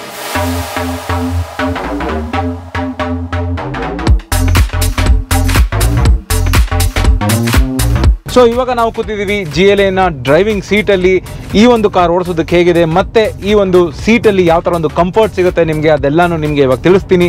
ಸ್ಟಾರ್ಟಿಂಗ್ ವಿತ್ ಇದರ ಸ್ಪೆಕ್ಸ್ ಸೊ ನಾವು ಇವಾಗ ಏನು ಓಡಿಸ್ತಾ ಇದ್ದೀವಿ? Variant G L A two hundred ಇದ್ರದ್ದು one point three litre turbo petrol engine ಇದರಲ್ಲಿ ಸಿಗೋದು ನಿಮಗೆ. ಎಸ್ ಒನ್ ಪಾಯಿಂಟ್ ತ್ರೀ ನೀವು ಆ್ಯಕ್ಚುಲಿ ನಿಸಾನ್ ಕಿಕ್ಸ್ ಟರ್ಬೋ ಇಲ್ಲ ಅಂತಂದ್ರೆ ರೆನೋ ಡಸ್ಟರ್ ಟರ್ಬೋ ಓಡಿಸಿತ್ತು ಅಂತಂದರೆ ಆ ಒಂದು ಸೇಮ್ ಇಂಜಿನ್ ಇದರಲ್ಲಿ ನಿಮಗೆ ಕೊಟ್ಟಿದ್ದಾರೆ. ಯಾಕೆ ಅಂತಂದರೆ ಇದು ರೆನೋ ನಿಸಾನ್ ಆ್ಯಂಡ್ ಮರ್ಸಿಡೀಸ್ ಮರ್ಸಿಡೀಸ್ನ ಪೇರೆಂಟ್ ಕಂಪ್ನಿ ಏನಿದೆ, ಆ ಕೋ ಡೆವಲಪ್ ಮಾಡಿರೋ ಒಂದು ಇಂಜಿನ್ ಇದು. ನಿಮಗೆ one point three litre turbo petrol ಸಿಗುತ್ತೆ. ಇದರ ಪವರ್ ಬಗ್ಗೆ, ಒಂದು ಫಿಗರ್ಸ್ ಬಗ್ಗೆ ಮಾತಾಡಬೇಕು ಅಂತಂದರೆ ನಿಮಗೆ hundred and sixty one B H P of power at five thousand five hundred R P M ಮತ್ತೆ two hundred and fifty newton metres of torque at around two thousand five hundred R P M ನಿಮಗೆ ಸಿಗುತ್ತೆ. So very low end torque ಇದರಲ್ಲಿ ಸಿಗುತ್ತೆ. ಮತ್ತೆ ಇನ್ನು zero to hundred times ಬಗ್ಗೆ ಮಾತಾಡಬೇಕು ಅಂತಂದರೆ ಅರೌಂಡ್ ಏಯ್ಟ್ ಪಾಯಿಂಟ್ ಫೈವ್ ಸೆಕೆಂಡ್ಸಲ್ಲಿ ಕ್ಲಿಯರ್ ಮಾಡುತ್ತೆ ಇದು zero to hundred so in terms of performance ಸಕ್ಕದಾಗಿದೆ ನಿಮಗೆ ಆ್ಯಕ್ಚುಲಿ ಕೂತ್ಕೊಂಡು ಓಡಿದಾಗ one point three litre engine ಅನ್ಸೋದೇ ಇಲ್ಲ. ಅದ್ರ ಜೊತೆ ನಿಮಗೆ ಡಿಫ್ರೆಂಟ್ ಡ್ರೈವ್ ಮೋಡ್ ಸಿಗುತ್ತೆ ಇದರಲ್ಲಿ. ನಾಲ್ಕು ಡ್ರೈವ್ ಮೋಡ್ ಸಿಗುತ್ತೆ. Comfort eco sport and individual individual ಅಂತಂದರೆ ನೀವು ಹಲವಾರು ಆಪ್ಷನ್ಸ್ ಏನಿದೆ ಅದನ್ನು ನೀವು ನಿಮ್ಮ ತಕ್ಕಂತೆ ಚೂಸ್ ಮಾಡ್ಕೊಳ್ಬೋದು ಅದನ್ನು ನೀವು ಆ್ಯಕ್ಚುಲಿ ಇನ್ ಇನ್ಫರ್ಟೈನ್ಮೆಂಟ್ ಏನಿದೆ ಅದರಲ್ಲಿ ಕಂಟ್ರೋಲ್ ಮಾಡ್ಕೊಳ್ಬೇಕು ನಿಮ್ಮ ಮ್ಯಾಪಿಂಗ್ ಅದೆಲ್ಲ ಒಂದು ಸಿಸ್ಟಮ್ನ ಸೆಟಪ್ ಮಾಡ್ಕೊಳ್ಬೋದು. ಸೊ ಅದ್ರ ಜೊತೆಗೆ ಇವಾಗ ಡಿಫ್ರೆನ್ಸ್ ಬಿಟ್ವೀನ್ ಮ್ಯಾಪ್ಸ್ ಬಗ್ಗೆ ಮಾತಾಡಬೇಕು ಅಂತಂದರೆ eco again as the name says it ನಿಮಗೆ ಒಂದು ಫ್ಯೂಲ್ ಎಫಿಷಿಯಂಟ್ ಡ್ರೈವಿಂಗ್ ಕೊಡುತ್ತೆ ಅದರಲ್ಲಿ. ಥ್ರೋಲ್ ರೆಸ್ಪಾನ್ಸ್ ಇದ್ದದ್ದು ಸ್ವಲ್ಪ ಡಿಲೇ ಆಗಿರುತ್ತೆ, ಮತ್ತು ಇದರ ಸ್ಟೀರಿಂಗ್ ಏನಿದೆ ಅದು ಕೂಡ ತುಂಬ ಈಸಿ ಆಗಿರುತ್ತೆ ಲೈಟ್ ಆಗಿರುತ್ತೆ. ಸೊ ದಟ್ ತುಂಬ ಈಸಿಯಾಗಿ ಮೆನ್ಯೂವರ್ ಮಾಡ್ಬೋದು. This best suited for city driving comfort ಏನು ಅಂತಂದರೆ ನಿಮಗೆ ಸ್ವಲ್ಪ ಥ್ರಾಟಲ್ ರೆಸ್ಪಾನ್ಸ್ ಜಾಸ್ತಿ ಇರುತ್ತೆ. ಈಕೋಗಿಂತ ಮತ್ತೆ ನಿಮಗೆ ಸ್ಟೇರಿಂಗ್ ಕೂಡ ಸ್ವಲ್ಪ ಟೈಟ್ ಆಗಿರುತ್ತೆ. Again this is suited for city driving or highway driving as well sport mode sport as the name says it ನೀವು ಫುಲ್ಲು ಆಕ್ಯುರೇಟ್ ಆಗಿರುತ್ತೆ. ಥ್ರಾಲ್ ರೆಸ್ಪಾನ್ಸ್ ಮತ್ತು ಸ್ಟೇರಿಂಗ್ ಕೂಡ ಒಂದು ಸ್ವಲ್ಪ ಟೈಟ್ ಆಗಿರುತ್ತೆ. ಒಳ್ಳೆ ನಿಮಗೆ ಡ್ರೈವಿಂಗ್ ಫೀಲಿಂಗ್ ಏನಿದೆ ಅದು ಕೊಡುತ್ತೆ. ಸ್ಪೋರ್ಟ್ ಮೋಡಲ್ಲಿ ನಿಮಗೆ ಏನು ಮಾಡುತ್ತೆ? ಆರ್ ಪಿ ಎಮ್ಗಳು ತುಂಬ ಜಾಸ್ತಿ ರೆವ್ ಆಗುತ್ತೆ. Six and half thousand red lining ಇದು. ನೀವು ಇನ್ಸ್ಟ್ರೂಮೆಂಟ್ ಕ್ಲಸ್ಟರ್ ನೋಡಿದಾಗ ಸಿಕ್ಸ್ ಆ್ಯಂಡ್ ಹಾಫ್ ತೌಸಂಡ್ ಅನ್ನು ರೆವ್ ಮಾಡಿ ಆಮೇಲೆ ಗೇರ್ ಚೇಂಜ್ ಆಗುತ್ತೆ ಇದು. ಸೊ ಅದರಿಂದ ಒಂದು ಸ್ಪೋರ್ಟಿ ಫೀಲಿಂಗ್ ಏನು ಬರುತ್ತೆ, ಏನು ಬೇಕು ನಿಮಗೆ ಒಂದು ಆ ಸ್ಪೋರ್ಟ್ ಮ್ಯಾಪಿಂದ ಇದು ಸ್ಪೋರ್ಟ್ ಡ್ರೈವ್ ಮೋಡಿಂದ ಆ ಒಂದು ಸ್ಪೋರ್ಟ್ ಡ್ರೈವ್ ಮೋಡ್ ನಿಮ್ಗೆ ಕೊಡುತ್ತೆ. ಸೊ ಇವಾಗ ಈ ಕಾರಣ ಒಂದು ಸ್ಪೋರ್ಟ್ ಮೋಡ್ಗೆ ಚೇಂಜ್ ಮಾಡೋಣ ಇವಾಗ ಕಂಫರ್ಟ್ ಮೋಡಲ್ಲಿದೆ ಸ್ಪೋರ್ಟ್ ಮೋಡಲ್ಲಿಂದ ಚೇಂಜ್ ಮಾಡಿದ ತಕ್ಷಣ ನನಗೆ ಒಂದು ಆರ್ ಪಿ ಎಂ ರೇಸ್ ಆಗೋ ಒಂದು ಫೀಲಿಂಗ್ ಕಾಣಿಸುತ್ತೆ ಡೆಫಿನೆಟ್ ಆಗಿ. ಇವಾಗ ಒಂದು ಆಕ್ಸಲರೇಷನ್ನ ಜಲಕ್ ಕೊಡ್ತೀನಿ ನಿಮಗೆ.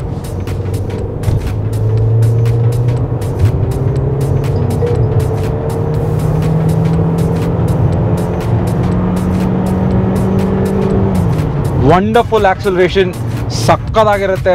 ಆ್ಯಂಡ್ ನಿಮಗೆ ಒಂದು ಎಕ್ಸೈಟಿಂಗ್ ಫೀಲಿಂಗ್ ಏನು ಬೇಕು, ಅದು ಡೆಫಿನೆಟ್ಲಿ ಕೊಡುತ್ತೆ. ಇನ್ನು ಒಂದು ಇಂಟ್ರೆಸ್ಟಿಂಗ್ ಕ್ಯಾರೆಕ್ಟರ್ ಈ ಒಂದು ಇಂಜಿನ್ ಬಗ್ಗೆ ಮಾತಾಡಬೇಕು ಅಂತಂದರೆ, ನೀವು ಸ್ಪೋರ್ಟ್ ಮೋಡಲ್ಲಿ ಇದ್ರೂ ನಿಮ್ಮ ಥ್ರಾಟಲ್ ಆ್ಯಕ್ಚುಲಿ ಕಡಿಮೆ ಯೂಸ್ ಮಾಡ್ತಾ ಇತ್ತು ಅಂತಂದರೆ ಅದು ಅಲ್ಲೇ ಗೇರ್ ಚೇಂಜ್ ಮಾಡೋಕ್ಕೆ ಶುರು ಮಾಡುತ್ತೆ. ಸೊ ಅದ್ರ ಜೊತೆಗೆ ಇನ್ನೊಂದು ಇಂಟ್ರೆಸ್ಟಿಂಗ್ ಕ್ಯಾರೆಕ್ಟರ್ ಈ ಇಂಜಿನ್ ಹೇಳಬೇಕು ಅಂತಂದರೆ ನೀವು ಆ್ಯಕ್ಚುಲಿ ಕಂಫರ್ಟ್ ಮೋಡಲ್ಲಿ ಇತ್ತು ಅಂತಂದರೆ, ಸ್ವಲ್ಪ ಥ್ರಾಟಲ್ನ ನೀವು ಕಡಿಮೆ ಯೂಸ್ ಮಾಡ್ತಾ ಇತ್ತು ಅಂತಂದರೆ, ಬೇಗ ಗೇರ್ಗಳು ಶಿಫ್ಟ್ ಆಗುತ್ತೆ. ಅಕಸ್ಮಾತ್ ನೀವು ಜಾಸ್ತಿ ಥ್ರಾಟಲ್ ಇನ್ಪುಟ್ ಕೊಡ್ತಾ ಇತ್ತು ಅಂತಂದರೆ higher down the R P M ಅಲ್ಲಿ ಶಿಫ್ಟ್ ಆಗುತ್ತೆ. So comfort ಮೋಡಲ್ಲಿ around five thousand five hundred R P M ಅಲ್ಲಿ ನಿಮಗೆ ಗೇರ್ಸ್ಗಳು ಶಿಫ್ಟ್ ಆಗುತ್ತೆ. ಇನ್ನು ಅದರ ಶಿಫ್ಟಿಂಗ್ ಬಗ್ಗೆ ಮಾತಾಡ್ತಾ, ಇದರಲ್ಲಿ ನಿಮಗೆ seven speed D S G gear ಬಾಕ್ಸ್ನ Mercedes ಅವರು ಕೊಟ್ಟಿದ್ದಾರೆ. ಈ ಒಂದು seven speed gear box beautiful ಆಗಿ ಮೇಟ್ ಆಗಿದೆ ಈ ಒಂದು ಇಂಜಿನ್ ಜೊತೆ. ನಿಮಗೆ ಯಾವುದೇ ಥರದ ಒಂದು ಶಿಫ್ಟಿಂಗ್ ಲ್ಯಾಗ್ ಆಗಲಿ ಇಲ್ಲ, ಇದರಲ್ಲಿ ತುಂಬ ಚೆನ್ನಾಗಿದೆ, ತುಂಬ ಚೆನ್ನಾಗಿ ಶಿಫ್ಟ್ ಆಗುತ್ತೆ. ವೆರಿ ಸ್ಮೂತ್ ಶಿಫ್ಟಿಂಗ್ ಅಂತ ಹೇಳಕ್ಕೆ ಇಷ್ಟಪಡ್ತೀನಿ. ಸೊ ಅದರಿಂದ ನಿಮಗೆ ಒಂದು ಓವರ್ ಆಲ್ ಪಾರ್ ಟ್ರೈನ್ ಎಕ್ಸ್ಪೀರಿಯನ್ಸ್ ಏನಿದೆ? One point three litre engine ನೀವು ಸರ್ಪ್ರೈಸಿಂಗ್ ಆಗಿರುತ್ತೆ ಒಂದು one point three litre engine Mercedes use ಮಾಡಿದ್ದಾರೆ ಅಂದರೆ. ಅದ್ರ ಜೊತೆಗೆ ಒಂದು ಸೆವೆನ್ ಸ್ಪೀಡ್ ಡಿ ಎಸ್ ಜಿಯಿಂದ ತುಂಬ ಚೆನ್ನಾಗಿದೆ ಇದರ ಡ್ರೈವಿಂಗ್ ಕ್ಯಾರೆಕ್ಟರಿಸ್ಟಿಕ್ಸು ನನಗಂತೂ ಸಖತ್ ಇಷ್ಟ ಆಯಿತು. ಬಟ್ ಒಂದು ಡೌನ್ ಸೈಡ್ ಏನು ಅಂತಂದರೆ ನೀವು ಹೈಯರ್ ಆರ್ ಪಿ ಎಂ ಹೋಗ್ತಾ ಇದರಲ್ಲಿ ಒಂದು ಇಂಜಿನ್ ನಾಯ್ಸ್ ತುಂಬ ಕ್ಯಾಬಿನ್ಗೆ ಬರುತ್ತೆ. ಸೊ ಅದರಿಂದ ಎನ್ ವಿ ಎಚ್ ಲೆವೆಲ್ಸ್ ಏನಿದೆ ಇದರದ್ದು ಸ್ವಲ್ಪ ನಿಮಗೆ ಹ್ಯಾಂಪರ್ ಆಗ್ಬೋದು. ಸೊ ಅಕಸ್ಮಾತ್ ನೀವು ಒಂದು higher down R P M shift ಮಾಡ್ತಾ ಇತ್ತು ಅಂತಂದರೆ, ಯಾಕೆಂದರೆ ಮ್ಯಾನ್ಯಲ್ ಆಗು ಶಿಫ್ಟ್ ಮಾಡ್ಬೋದು ನಿಮಗೆ. ಇದರಲ್ಲಿ ಪ್ಯಾಡಲ್ ಶಿಫ್ಟರ್ಸ್ ಕೊಟ್ಟಿದ್ದಾರೆ. ಸೊ ಅದರಿಂದ ನೀವು ಮ್ಯಾನ್ಯಲ್ ಗೇರ್ ಶಿಫ್ಟ್ ಕೂಡ ಮಾಡ್ಬೋದು. ಅದನ್ನು ಮಾಡಿ ನೀವು ಹೈಯರ್ ಆರ್ ಪಿ ಎಮಲ್ಲಿ ಇಟ್ಕೊಂತು ಇಂಜಿನ್ ಅಂತಂದರೆ ಸ್ವಲ್ಪ ನಾಯ್ಸ್ ಒಳಗಡೆ ಬರುತ್ತೆ ನಿಮಗೆ. ಸೊ ಅಕಸ್ಮಾತ್ ನೀವೇನೋ ಮ್ಯೂಸಿಕ್ ಹೇಳ್ತಾ ಇತ್ತು ಅಂತಂದರೆ ಆ ನಾಯ್ಸ್ ಇನ್ನೂ ಸ್ವಲ್ಪ ಕಡಿಮೆ ಆಗುತ್ತೆ. ನಿಮಗೆ ಒಂದು ಬ್ಯೂಟಿಫುಲ್ ಸೌಂಡಿಂಗ್ ಮ್ಯೂಸಿಕ್ ಸಿಸ್ಟಮ್ ಕೂಡ ಇದರಲ್ಲಿದೆ. ಸೊ ಅದರಿಂದ ನೀವು ಎನ್ ವಿ ಎಸ್ ಲೆವೆಲ್ನ ಸ್ವಲ್ಪ ಇಂಪ್ರೂವ್ ಮಾಡ್ಕೊಳ್ಬೋದು. ಬಟ್ ಇಂಜಿನ್ ನಾಯ್ಸ್ ನಿಮಗೆ ಹೈಯರ್ ಆರ್ ಪಿ ಎಮಲ್ಲಿ ಬಂದೇ ಬರುತ್ತೆ. ಇವಾಗ ಈ ಒಂದು ಜಿ ಎಲ್ ಎನ ಹ್ಯಾಂಡ್ಲಿಂಗ್ ಬಗ್ಗೆ ಮಾತಾಡೋಣ. ಸೊ ಹ್ಯಾಂಡ್ಲಿಂಗ್ ಬಗ್ಗೆ ಮಾತಾಡ್ತಾ ಇದೊಂದು ಎಸ್ ಯು ವಿ ಆಗಿರೋದ್ರಿಂದ, ಒಂದು ಟಾಲ್ ರೈಡಿಂಗ್ ಕಾರ್ ಆಗಿರೋದ್ರಿಂದ ನಿಮ್ಗೆ ಅನಿಸ್ಬೋದು ಇದು ಒಂದು ಸ್ವಲ್ಪ ಬಾಡಿ ರೋಲ್ ಇರುತ್ತೆ ಅಂತ ಅಂದ್ಬಿಟ್ಟು ಬಟ್ ಇದರಲ್ಲಿ ಒಂದು ಸ್ಟಿಫರ್ ಸಸ್ಪೆನ್ಷನ್ನ ಕೊಟ್ಟಿದ್ದಾರೆ ಮರ್ಸಿಡೀಸ್ ಅವರು. ಹಾಗೆ ನಿಮಗೆ ಒಂದು ಓವರ್ ಆಲ್ ಡೈನಾಮಿಕ್ಸ್ ಏನಿದೆ ಮರ್ಸಿಡೀಸ್ ಅವರ ಒಂದು ಸೆಟಪ್ ಏನಿದೆ ಕಾರ್ದು, ಅದು ತುಂಬ ಚೆನ್ನಾಗಿದೆ. ಸೊ ಅದರಿಂದ ನಿಮಗೆ ಯಾವುದೇ ಥರದ ಒಂದು ತುಂಬ ಬಾಡಿ ರೋಲ್ ಅನ್ಸಲ್ಲ ಬಟ್ ಅಗ್ರೆಸಿವ್ ಅಗ್ರೆಸಿವ್ ಕಾರ್ನರ್ ತೊಗೊತಿರ್ಬೇಕಾದ್ರೆ ಡೆಫಿನೆಟ್ಲಿ ನಿಮ್ಗೊಂದು ಸ್ವಲ್ಪ ಆ ಕಡೆ ಈ ಕಡೆ ಅಂದಂಗೆ ಅನ್ಸುತ್ತೆ. ಬಟ್ ಏನಕ್ಕೆ ನಿಮಗೆ ಬಾಡಿ ರೋಲ್ ಇನ್ನೊಂದು ಅನ್ಸಲ್ಲ ಅಂತಂದ್ರೆ ಅದು ಇದರ ಸೀಟ್ಸ್ನಿಂದ. ಸೊ ನಿಮಗೆ ಒಂದು ಡ್ರೈವ್ ಕಂಫರ್ಟ್ ಬಗ್ಗೆ ಮಾತಾಡ್ತಾ ಈ ಒಂದು ಸೀಟ್ಸ್ ಏನಿದೆ, ತುಂಬಾ ಸಪೋರ್ಟಿವ್ ಸೀಟ್ಸ್ ನಿಮಗೆ ಏಟ್ ವೇ ಅಡ್ಜಸ್ಟಬಲ್ ಸೀಟ್ ಇದೆ, ಮತ್ತೆ ಇದರಲ್ಲಿ ಲಂಬಾರ್ ಸಪೋರ್ಟ್ ಕೂಡ ಎಲೆಕ್ಟ್ರಾನಿಕಲಿ ಅಡ್ಜಸ್ಟಬಲ್ ಸೊ ನಿಮ್ಮ ಬ್ಯಾಕ್ ರೆಸ್ಟ್ಗೆ ಅದು ಯಾವ ತರ ಬೇಕೋ ಒಂದು ಅಡ್ಜಸ್ಟ್ಮೆಂಟ್ನ ಕಂಡ್ಕೊಳ್ಬೋದು ಇದರಲ್ಲಿ. ಅದ್ರ ಜೊತೆಗೆ ನಿಮಗೆ ಸ್ಟೇರಿಂಗ್ ಕೂಡ ಟಿಲ್ಟ್ ಅಂಡ್ ಟೆಲಿಸ್ಕೋಪಿಕ್ ಅಡ್ಜಸ್ಟ್ಮೆಂಟ್ ಕೊಟ್ಟಿದ್ದಾರೆ. ಸೊ ಅದರಿಂದ ನಿಮಗೆ ಒಂದು ಬ್ಯೂಟಿಫುಲ್ ಸೀಟಿಂಗ್ ಪೊಸಿಷನ್ ಏನಿದೆ ಅದು ಆರಾಮಾಗಿ ಕಂಡ್ಕೊಳ್ಬೋದು ಈ ಒಂದು ಕಾರ್ನ ಓಡಿಸ್ತಾ. ಸೊ ಸೀಟಿಂಗ್ ಪೊಸಿಷನ್ ಕಂಡ್ಕೊಳ್ಳೋದ್ರಲ್ಲಿ ಯಾವುದೇ ಥರದ ನಿಮಗೆ ತೊಂದರೆ ಆಗಲ್ಲ. ಅದ್ರ ಜೊತೆಗೆ ನಿಮಗೆ ಈ ಸೀಟ್ನಲ್ಲಿ ಮೆಮರಿ ಫಂಕ್ಷನ್ ಇರೋದ್ರಿಂದ ಏನಾಗುತ್ತೆ? ಅಕಸ್ಮಾತ್ ನಿಮ್ಮ ಫ್ಯಾಮಿಲಿ ಮೆಂಬರ್ಸ್ ಅಲ್ಲಿ ಮೂರು ಜನ ಏನಾರು ಇತ್ತು ಅಂತಂದ್ರೆ ಅವರು ಕಾರ್ ತೊಗೊಂಡು ಹೋಗ್ತಾ ಇದ್ರೆ ಅವ್ರ ತಕ್ಕನಂತೆ ನಿಮ್ಮ ಅವರು ಸೀಟ್ನ ಅಡ್ಜಸ್ಟ್ ಮಾಡ್ಕೊಂಡಿರ್ತಾರೆ. ಸೊ ನೀವು ವಾಪಸ್ ಬಂದಾಗ ನಿಮ್ಮ ಒಂದು ಸೀಟ್ ಅಡ್ಜಸ್ಟ್ಮೆಂಟ್ನ ಸ್ಟೋರ್ ಮಾಡಿತ್ತು ಅಂತಂದ್ರೆ ಇಲ್ಲಿ ನೀವು ನೋಡ್ತಾ ಇದ್ದೀರಾ ಒನ್ ಟೂ ತ್ರೀ ಇದೆ. ಸೊ ಅದನ್ನ ಈಸಿಯಾಗಿ ನೀವು ಒಂದು ನಂಬರ್ನ ಪ್ರೆಸ್ ಮಾಡಿ ನಿಮ್ಮ ಸೀಟ್ ಅಡ್ಜಸ್ಟ್ಮೆಂಟ್ನ ಇಮಿಡಿಯೇಟ್ ಆಗಿ ಕಂಡ್ಕೊಳ್ಬೋದು. ಸೊ ಇದೆಲ್ಲ ಒಂದು ಕನ್ವೀನಿಯನ್ಸ್ ಫ್ಯಾಕ್ಟರ್ಗೆ ಆ್ಯಡ್ ಆಗುತ್ತೆ. ಮತ್ತೆ ಒಂದು ಓವರ್ ಆಲ್ ಡ್ರೈವ್ ಕಂಫರ್ಟ್ ಏನಿದೆ, ಅದಕ್ಕೆ ಆ್ಯಡ್ ಆಗುತ್ತೆ. ಇನ್ನು ಕೊನೆಯದಾಗಿ ಈ ಕಾರ್ನ ಬ್ರೇಕ್ಸ್ ಬಗ್ಗೆ ಮಾತಾಡೋಣ. ಬ್ರೇಕ್ಸ್ ಬಗ್ಗೆ ಮಾತಾಡಬೇಕು ಅಂದರೆ ನಿಮಗೆ ಬ್ರೇಕಿಂಗ್ ಪರ್ಫಾರ್ಮೆನ್ಸ್ ತುಂಬ ಚೆನ್ನಾಗಿದೆ. ಬಟ್ ಇದರಲ್ಲಿ ಇನಿಷಿಯಲ್ ಬೈಟ್ ಸ್ವಲ್ಪ ಕಡಿಮೆ ಇದೆ ಅನಿಸ್ತು. ನೀವು ಕಾರ್ ಓಡಿಸ್ತಿರ್ಬೇಕಾದ್ರೆ ಒಂದು ಟ್ರಿಪಲ್ ಡಿಜಿಟ್ ಸ್ಪೀಚ್ ಮಾಡ್ತಾ ಇತ್ತು ಅಂತಂದರೆ ನೀವು ಎಷ್ಟು ಅಂದಾಜು ಇಟ್ಟಿರ್ತೀರೋ ಅದಕ್ಕಿಂತ ಸ್ವಲ್ಪ ಜಾಸ್ತಿನೇ ಬ್ರೇಕ್ನ ಪ್ರೆಸ್ ಮಾಡಬೇಕಾಗುತ್ತೆ ಕಾರ್ನ ಸ್ಟಾಪ್ ಮಾಡೋದಕ್ಕೆ. ಸೊ ಇದರಿಂದ ಇನಿಷಿಯಲ್ ಬೈಟ್ ಸ್ವಲ್ಪ ಕಡಿಮೆ ಇದೆ ಅನಿಸ್ತು. But over all braking performance ತುಂಬ ಚೆನ್ನಾಗಿದೆ. ಇನ್ನು ಒಂದು ಓವರ್ ಆಲ್ ಕನ್ಕ್ಲೂಷನ್ ಕೊಡಬೇಕು ಅಂತಂದ್ರೆ ನೀವು ಮರ್ಸಿಡೀಸ್ ಬೆನ್ಸ್ ಕಾರ್ನ ಏನಕ್ಕೆ ತೊಗೊಂತೀರಾ ಅಂತಂದ್ರೆ ನಿಮಗೆ ಫಸ್ಟ್ ಆಫ್ ಆಲ್ ಒಂದು ಒಳ್ಳೆ ಕಂಫರ್ಟಬಲ್ ಆ್ಯಂಡ್ ಪ್ರೀಮಿಯಂ ಇಂಟೀರಿಯರ್ಸ್ ಬೇಕಾಗಿರುತ್ತೆ. ಅದು ಇದರಲ್ಲಿದೆ. ಮತ್ತೆ ನಿಮಗೆ ಒಂದು ಪರ್ಫಾರ್ಮೆನ್ಸ್ ಓರಿಯೆಂಟೆಡ್ ಇಂಜಿನ್ ಸ್ವಲ್ಪ ಬೇಕಾಗಿರುತ್ತೆ. ಅದು ಕೂಡ ಇದರಲ್ಲಿ ಕೊಟ್ಟಿದ್ದಾರೆ. ಸೊ ಇನ್ ದ್ಯಾಟ್ ಸೆನ್ಸ್ ಈ ಒಂದು ಕಾರ್ ಏನಿದೆ, ಒಂದು over all good very good package ಅಂತ ಹೇಳೋಕ್ಕೆ ಇಷ್ಟಪಡ್ತೀನಿ. ಬಟ್ ಇದು again one point three cylinder engine ಆಗಿರೋದ್ರಿಂದ ಇದರ ಫ್ಯೂಲ್ ಕನ್ಸಂಪ್ಷನ್ ಏನಿದೆ, ಅದು ಕೂಡ ಸ್ವಲ್ಪ ಹ್ಯಾಂಪರ್ ಆಗುತ್ತೆ. ಯಾಕೆ ಅಂತಂದರೆ, ನೀವು ಒಂದು ಗುಡ್ ಸ್ಪೀಚ್ ಮಾಡೋದಕ್ಕೆ ತುಂಬ ಥ್ರಾಟಲ್ ಇನ್ಪುಟ್ ಕೊಡಬೇಕಾಗುತ್ತೆ, ತುಂಬ ಜಾಸ್ತಿ ರೆವ್ ಮಾಡ್ತಾ ಇರ್ತೀರ. ಸೊ ಅದರಿಂದ ನಮ್ಮ ಟೆಸ್ಟ್ ಪ್ರಕಾರ ಸಿಕ್ಕಿದ್ದು ಮೈಲೇಜ್ ಫಿಗರ್ಸ್ ಅಂತಂದರೆ around six to seven with A C inside city ಮತ್ತೆ ನೀವು ಹೈವೇನಲ್ಲಿ ಓಡಿಸ್ತು ಅಂತಂದರೆ ನಿಮಗೆ ಅರೌಂಡ್ ನೈನ್ ಟು ಟೆನ್ ಸಿಗುತ್ತೆ ವಿತ್ ಎ ಸಿ ಸೊ ಇದು ನಮಗೆ ಸಿಕ್ಕಿರೋ ಒಂದು test ಫಿಗರ್ಸಲ್ಲಿ mileage figures so in that sense ನಿಮಗೆ ಒಂದು ಫ್ಯೂಲ್ ಎಫಿಷಿಯಂಟ್ ಕಾರ್ ಬೇಕಾಗಿತ್ತು ಅಂತಂದರೆ you have to look somewhere else ಈ ಕಾರ್ ಒಂದು ಸ್ಟಿಫ್ಲಿ ಸ್ಪ್ರಂಗ್ ಸಸ್ಪೆನ್ಷನ್ ಇರೋದ್ರಿಂದ ನೀವು ಆಕ್ಚುಲಿ ಬ್ಯಾಡ್ ರೋಡ್ಸಲ್ಲಿ ಹೋಯ್ತು ಅಂತಂದ್ರೆ ನೀವು ಇವಾಗ ನೋಡಿದ್ರಲ್ಲ ಇದರ ಒಂದು ಕ್ವಾಲಿಟಿ ಏನಿದೆ ಬ್ಯಾಡ್ ರೋಡ್ಸಲ್ಲಿ ಅದು ತುಂಬ ಚೆನ್ನಾಗಿದೆ. ನೀವು ಅಂದ್ಕೊಂಡ್ಬೋದು ಸ್ಟಿಫ್ಲಿ ಸ್ಪ್ರಂಗ್ ಸಸ್ಪೆನ್ಷನ್ ಇರೋದ್ರಿಂದ ನಿಮಗೆ ಒಂದು ಸ್ವಲ್ಪ ಇದರ ರೈಟ್ ಕ್ವಾಲಿಟಿ ಹಾರ್ಡ್ ಆಗಿರುತ್ತೆ ಅಂತ ಬಟ್ ಮಸೀಡ್ ಅವರು ತುಂಬ ಚೆನ್ನಾಗಿ ಮ್ಯಾನೇಜ್ ಮಾಡಿದ್ದಾರೆ. ಲೋ ಸ್ಪೀಡ್ಸಲ್ಲಿ ನಿಮಗೆ ತುಂಬ ಸ್ಮೂತಾಗಿ ತಗೊಳುತ್ತೆ ಇದು ಬಂಪ್ಸ್ ಮತ್ತು ಪಾಟ್ ಹೋಲ್ಸ್ನ ಬಟ್ ಅಕಸ್ಮಾತ್ ನೀವೇನಾದ್ರು ಒಂಚೂರು ಹೈಯರ್ ಸ್ಪೀಡ್ಸ್ ಹೋಗ್ತಿರ್ಬೇಕು ಅಂತಂದರೆ ಅವಾಗ ನಿಮಗೆ ಒಂದು ಸ್ವಲ್ಪ ಜಡರ್ ಫೀಲ್ ಆಗುತ್ತೆ ಇದರಲ್ಲಿ. So in terms of normal speeds ನಿಮಗೆ ಯಾವುದೇ ಒಂದು ಪಾಟ್ ಹೋಲ್ ಯಾವುದೇ ಒಂದು ಬಂಪ್ಸ್ನ ಈಸಿಯಾಗಿ ಹ್ಯಾಂಡಲ್ ಮಾಡುತ್ತೆ ಈ ಕಾರು ಈ ಒಂದು one point three litre turbo petrol engine ಜೊತೆ ಮರ್ಸಿಡೀಸ್ ಅವರು ನಿಮಗೆ ಒಂದು ಮೈಲ್ಡ್ ಹೈಬ್ರಿಡ್ ಸಿಸ್ಟಮ್ನ ಈ G L A two hundred ಅಲ್ಲಿ ಕೊಟ್ಟಿದ್ದಾರೆ. ಏನಕ್ಕೆ ಈ ಒಂದು ಮೈಲ್ಡ್ ಹೈಬ್ರಿಡ್ ಸಿಸ್ಟಮ್ ಕೊಟ್ಟಿದ್ದಾರೆ ಅಂತಂದ್ರೆ, ಇದರಲ್ಲಿ ಒಂದು auto idle start stop system ಏನಿದೆ, ಅದು ಇದೆ. ಸೊ ಆ ಒಂದು ಫೀಚರ್ನ ಕಂಟ್ರೋಲ್ ಮಾಡೋದಕ್ಕೆ ಈ ಒಂದು ಮೈಲ್ಡ್ ಹೈಬ್ರಿಡ್ ಸಿಸ್ಟಮ್ನ ಕೊಟ್ಟಿದ್ದಾರೆ. ಸೊ ಇದೇನ್ ಮಾಡುತ್ತೆ ಅಂತಂದ್ರೆ ಬೇಸಿಕ್ಲಿ ನೀವು ಇದನ್ನ ಬಹಳಷ್ಟು ಕಾರ್ಗಳಲ್ಲಿ ಇವಾಗ ಈ ನಡುವೆ ತುಂಬಾ ನೋಡಿರ್ತೀರಾ. ಸಿಗ್ನಲ್ ಹೋಗಿ ನಿಮ್ಮ ಕಾರ್ನ ನಿಂತಾಗ ಆಟೋಮೆಟಿಕ್ ಆಗಿ ಕಟ್ ಆಫ್ ಆಗುತ್ತೆ ಇಂಜಿನ್ ಎಲ್ಲ. ಇದೊಂದು ಫ್ಯೂಲ್ ಎಫಿಷಿಯಂಟ್ ಡ್ರೈವಿಂಗ್ಗೆ ನಿಮಗೆ ಹೆಲ್ಪ್ ಆಗುತ್ತೆ. ಮತ್ತೆ ನೀವು ಬ್ರೇಕ್ ಪೆಡಲ್ನಿಂದ ನಿಮ್ಮ ಕಾಲ್ನ ರಿಲೀಸ್ ಮಾಡಿದಾಗ ಆಟೋಮೆಟಿಕ್ ಆಗಿ ಕಾರ್ ಸ್ಟಾರ್ಟ್ ಆಗುತ್ತೆ. ಸೊ ಇದೇನಾಗುತ್ತೆ, ಆ ತುಂಬಾ ಸಲ ಸ್ಟಾರ್ಟ್ ಸ್ಟಾಪ್ ಮಾಡೋದ್ರಿಂದ ಇದರ ಆಲ್ಟರ್ನೇಟರ್ನಿಂದ ನೀವು ಕ್ರ್ಯಾಂಕ್ ಮಾಡ್ತಾ ಇತ್ತು ಅಂತಂದ್ರೆ ಅದಕ್ಕೆ ಸ್ವಲ್ಪ ತೊಂದರೆ ಆಗ್ಬೋದು. ಅದಕ್ಕೋಸ್ಕರ ಒಂದು ಸ್ಮಾಲ್ ಎಲೆಕ್ಟ್ರಿಕ್ ಮೋಟರ್ ಮತ್ತೆ ಒಂದು ಬ್ಯಾಟರಿ ಅರೇಂಜ್ಮೆಂಟ್ನ ಕೊಟ್ಟು ಈ ಒಂದು ಆಯಿಲ್ ಸ್ಟಾರ್ ಸ್ಟಾಪ್ ಸಿಸ್ಟಮ್ನ ನಿಮಗೆ ಕೊಟ್ಟಿದ್ದಾರೆ. ಮತ್ತೆ ಈ ಕಾರ್ನ ಒಂದು ಸೇಫ್ಟಿ ಫೀಚರ್ಸ್ ಬಗ್ಗೆ ಮಾತಾಡಬೇಕು ಅಂತಂದ್ರೆ ಇದರಲ್ಲಿ ಬಹಳಷ್ಟು active and passive safety features ಕೊಟ್ಟಿದ್ದಾರೆ. ಫಸ್ಟ್ ಪ್ಯಾಸಿವ್ ಸೇಫ್ಟಿ ಫೀಚರ್ಸ್ ಬಗ್ಗೆ ನಿಮ್ಗೆ ಹೇಳ್ತೀನಿ. ಇದರಲ್ಲಿ ಸಿಕ್ಸ್ ಏರ್ ಬ್ಯಾಗ್ಸ್ ಕೊಟ್ಟಿದ್ದಾರೆ. ಅಗೇನ್ ಕರ್ಟನ್ ಏರ್ ಬ್ಯಾಗ್ ಸಿಗುತ್ತೆ. ಜೊತೆಗೆ ನಿಮಗೆ ಒಂದು driver side knee air bag ಕೂಡ ಕೊಟ್ಟಿದ್ದಾರೆ. ಸೊ ಇದರಿಂದ ಒಂದು ಆಕ್ಯುಪೆಂಟ್ ಸೇಫ್ಟಿಗೆ ಬಹಳಷ್ಟು ಆಡ್ ಆಗುತ್ತೆ. ಅದ್ರ ಜೊತೆಗೆ ನಿಮಗೆ ಒಂದು ಐಸೋಫಿಕ್ಸ್ ಮೌಂಟ್ ಆಗಿರ್ಬೋದು A B S traction control hill hold assist ಇದೆಲ್ಲನೂ ನಿಮಗೆ ಒಂದು safety features standard safety features ಏನಿದೆ ಅದು ಇದರಲ್ಲಿ ಆಗಲೇ ಸಿಗುತ್ತೆ ನಿಮಗೆ. ಅದ್ರ ಜೊತೆಗೆ ಇದರಲ್ಲಿ ಆಕ್ಟಿವ್ ಸೇಫ್ಟಿ ಫೀಚರ್ಸ್ ಕೂಡ ಕೊಟ್ಟಿದ್ದಾರೆ. ಸೊ ಆಕ್ಟಿವ್ ಸೇಫ್ಟಿ ಫೀಚರ್ಸ್ ಏನು ಅಂತಂದ್ರೆ, ನಿಮಗೆ ಆಕ್ಟಿವ್ ಬ್ರೇಕ್ ಅಸಿಸ್ಟ್ ಅನ್ನೋ ಒಂದು ಫೀಚರ್ನ ಕೊಟ್ಟಿದ್ದಾರೆ. ಇದೇನಾಗುತ್ತೆ? ನೀವು ಮುಂದೆ ಹೋಗ್ತಿರೋ ವೆಹಿಕಲ್ನ ಅಕಸ್ಮಾತ್ ನೀವು ನೋಡಿಲ್ಲ ಅಂತಂದ್ರೆ ಅಕಸ್ಮಾತ್ ನೀವು ಕಾನ್ಸಂಟ್ರೇಷನ್ ಬೇರೆ ಎಲ್ಲಾರ ಇತ್ತು ಅಂತಂದ್ರೆ, ನಿಮ್ನ ಅಲರ್ಟ್ ಮಾಡುತ್ತೆ. ಮುಂದೆ ಇರೋ ಒಂದು ವೆಹಿಕಲ್ ಇದೆ ಸೊ ಬ್ರೇಕ್ ಮಾಡಿ ಅಂತ ಅಂದ್ಬಿಟ್ಟು ಒಂದು ಬೀಪ್ ಸೌಂಡ್ ಕೇಳಿಸುತ್ತೆ ನಿಮಗೆ. ಅದು ಒಂದು ಆಕ್ಟಿವ್ ಬ್ರೇಕ್ ಫೀಚರ್ ಆಯ್ತು. ಅದ್ರ ಜೊತೆಗೆ ನಿಮ್ಗೆ ಒಂದು ಡ್ರೈವರ್ ಡ್ರೌಸಿನೆಸ್ ಸೆನ್ಸರ್ ಕೂಡ ಇದರಲ್ಲಿ ಇದೆ ಸೊ ಏನಾಗುತ್ತೆ? ಕಾರ್ ನಿಮ್ನ ಮಾನಿಟರ್ ಮಾಡ್ತಾ ಇರುತ್ತೆ ಡ್ರೈವರ್ನ ಮಾನಿಟರ್ ಮಾಡ್ತಾ ಇರುತ್ತೆ. ಅಕಸ್ಮಾತ್ ಅವರೊಂದು ಟಯರ್ಡ್ನೆಸ್ ಫೀಲ್ ಆಗ್ತಾ ಇತ್ತು ಅಂತಂದ್ರೆ ಅವರ ಕಾನ್ಸಂಟ್ರೇಷನ್ ಕರೆಕ್ಟ್ ಆಗಿಲ್ಲ ಅಂತಂದ್ರೆ it will ask you to take a break so ಒಂದು ಬ್ರೇಕ್ ತಗೊಳ್ಳಿ ಅಂತ ನಿಮಗೆ ನೋಟಿಫೈ ಮಾಡಿ ಸ್ಟಾಪ್ ಮಾಡಿ ಕಾರ್ನ ಅಂತ ಅಂದ್ಬಿಟ್ಟು ಸಜೆಸ್ಟ್ ಮಾಡುತ್ತೆ. ಸೊ ಅದೊಂದು ಆಕ್ಟಿವ್ ಸೇಫ್ಟಿ ಫೀಚರ್ ಆಯಿತು. ಕೊನೆಯದಾಗಿ ಇನ್ನೊಂದು ಆಕ್ಟಿವ್ ಸೇಫ್ಟಿ ಫೀಚರ್ ಅಂತಂದ್ರೆ ಇದರ ಪ್ರೀ ಸೇಫ್ ಬಾನೆಟ್ ಸೊ ಏನಾಗುತ್ತೆ? ನೀವು ಡ್ರೈವ್ ಮಾಡ್ತಿರ್ಬೇಕಾದ್ರೆ ಅಕಸ್ಮಾತ್ ಸ್ಲೋ ಸ್ಪೀಡ್ಸಲ್ಲಿ ಪೆಡಸ್ಟ್ರಿಯನ್ ಅಕಸ್ಮಾತ್ ನೀವು ಕೊಲಾಡ್ ಆಯಿತು ಅಂತಂದರೆ ಇನ್ ಅನ್ಫಾರ್ಚುನೇಟ್ ಇನ್ಸಿಡೆಂಟ್ ಆ ಒಂದು ಇಂಪ್ಯಾಕ್ಟ್ನ ಕಡಿಮೆ ಮಾಡೋದಕ್ಕೆ ಇದರ ಬಾನೆಟ್ ಹಿಂಜಸ್ ಏನಿದೆ ರೇರ್ ಹಿಂಜಸ್ ಅದು ಲಿಫ್ಟ್ ಆಗುತ್ತೆ. ಸೊ ದ್ಯಾಟ್ ಪೆಡಸ್ಟ್ರಿಯನ್ ಬಂದು ಕೊಲೈಡ್ ಆದಾಗ ಈ ಬಾನೆಟ್ ಹಿಂಗ್ ಲಿಫ್ಟ್ ಆದಾಗ ನಿಮಗೆ ಇಂಪ್ಯಾಕ್ಟ್ ಏನಿದೆ, ಅದು ಕಡಿಮೆ ಆಗುತ್ತೆ. ಸೊ ಈ ಒಂದು ಬ್ರಿಲಿಯಂಟ್ ಫೀಚರ್ಸ್ನ ಮರ್ಸಿಡೀಸ್ ಅವರು ಕೊಟ್ಟಿದ್ದಾರೆ. They care about people outside and also people inside as well ಈಗ ನೀವು ನೋಡಿದ್ರಿ ನಮ್ಮ Mercedes Benz G L A two ಹಂಡ್ರೆಡ್ನ review ಇದರ ಬೆಲೆ ಭಾರತದಲ್ಲಿ forty two point one lakh ಈ ಪರ್ಟಿಕ್ಯುಲರ್ ವೇರಿಯಂಟ್ಗೆ ನಮ್ಮ ಪ್ರಕಾರ ನೀವೊಂದು ಎಂಟ್ರಿ ಲೆವೆಲ್ ಲಕ್ಸುರಿ ಕಾರ್ ತೊಗೊಳ್ಬೇಕು ಅಂತ ಯೋಚನೆ ಮಾಡ್ತಾ ಇದ್ರೆ ಇದು ಒಂದು ಪರ್ಫೆಕ್ಟ್ ಎಕ್ಸಾಂಪಲ್ ಇದರಲ್ಲಿ ಬಹಳಷ್ಟು features beautiful interior and striking looking ಎಕ್ಸ್ಟೀರಿಯರ್ಸ್ನಿಂದ ಈ ಒಂದು ಕಾರ್ ನಿಮ್ಮ ಟಾಪ್ ಚಾಯ್ಸ್ ಆಗಿರುತ್ತೆ ಅಂತ ಹೇಳೋಕ್ಕೆ ಇಷ್ಟಪಡ್ತೀನಿ. ನಿಮಗೆ ಈ ರಿವ್ಯೂ ನೋಡಾದ್ಮೇಲೆ ಏನನ್ನಿಸ್ತು ಅಂತ ಕಮೆಂಟ್ ಸೆಕ್ಷನಲ್ಲಿ ತಿಳಿಸಿ.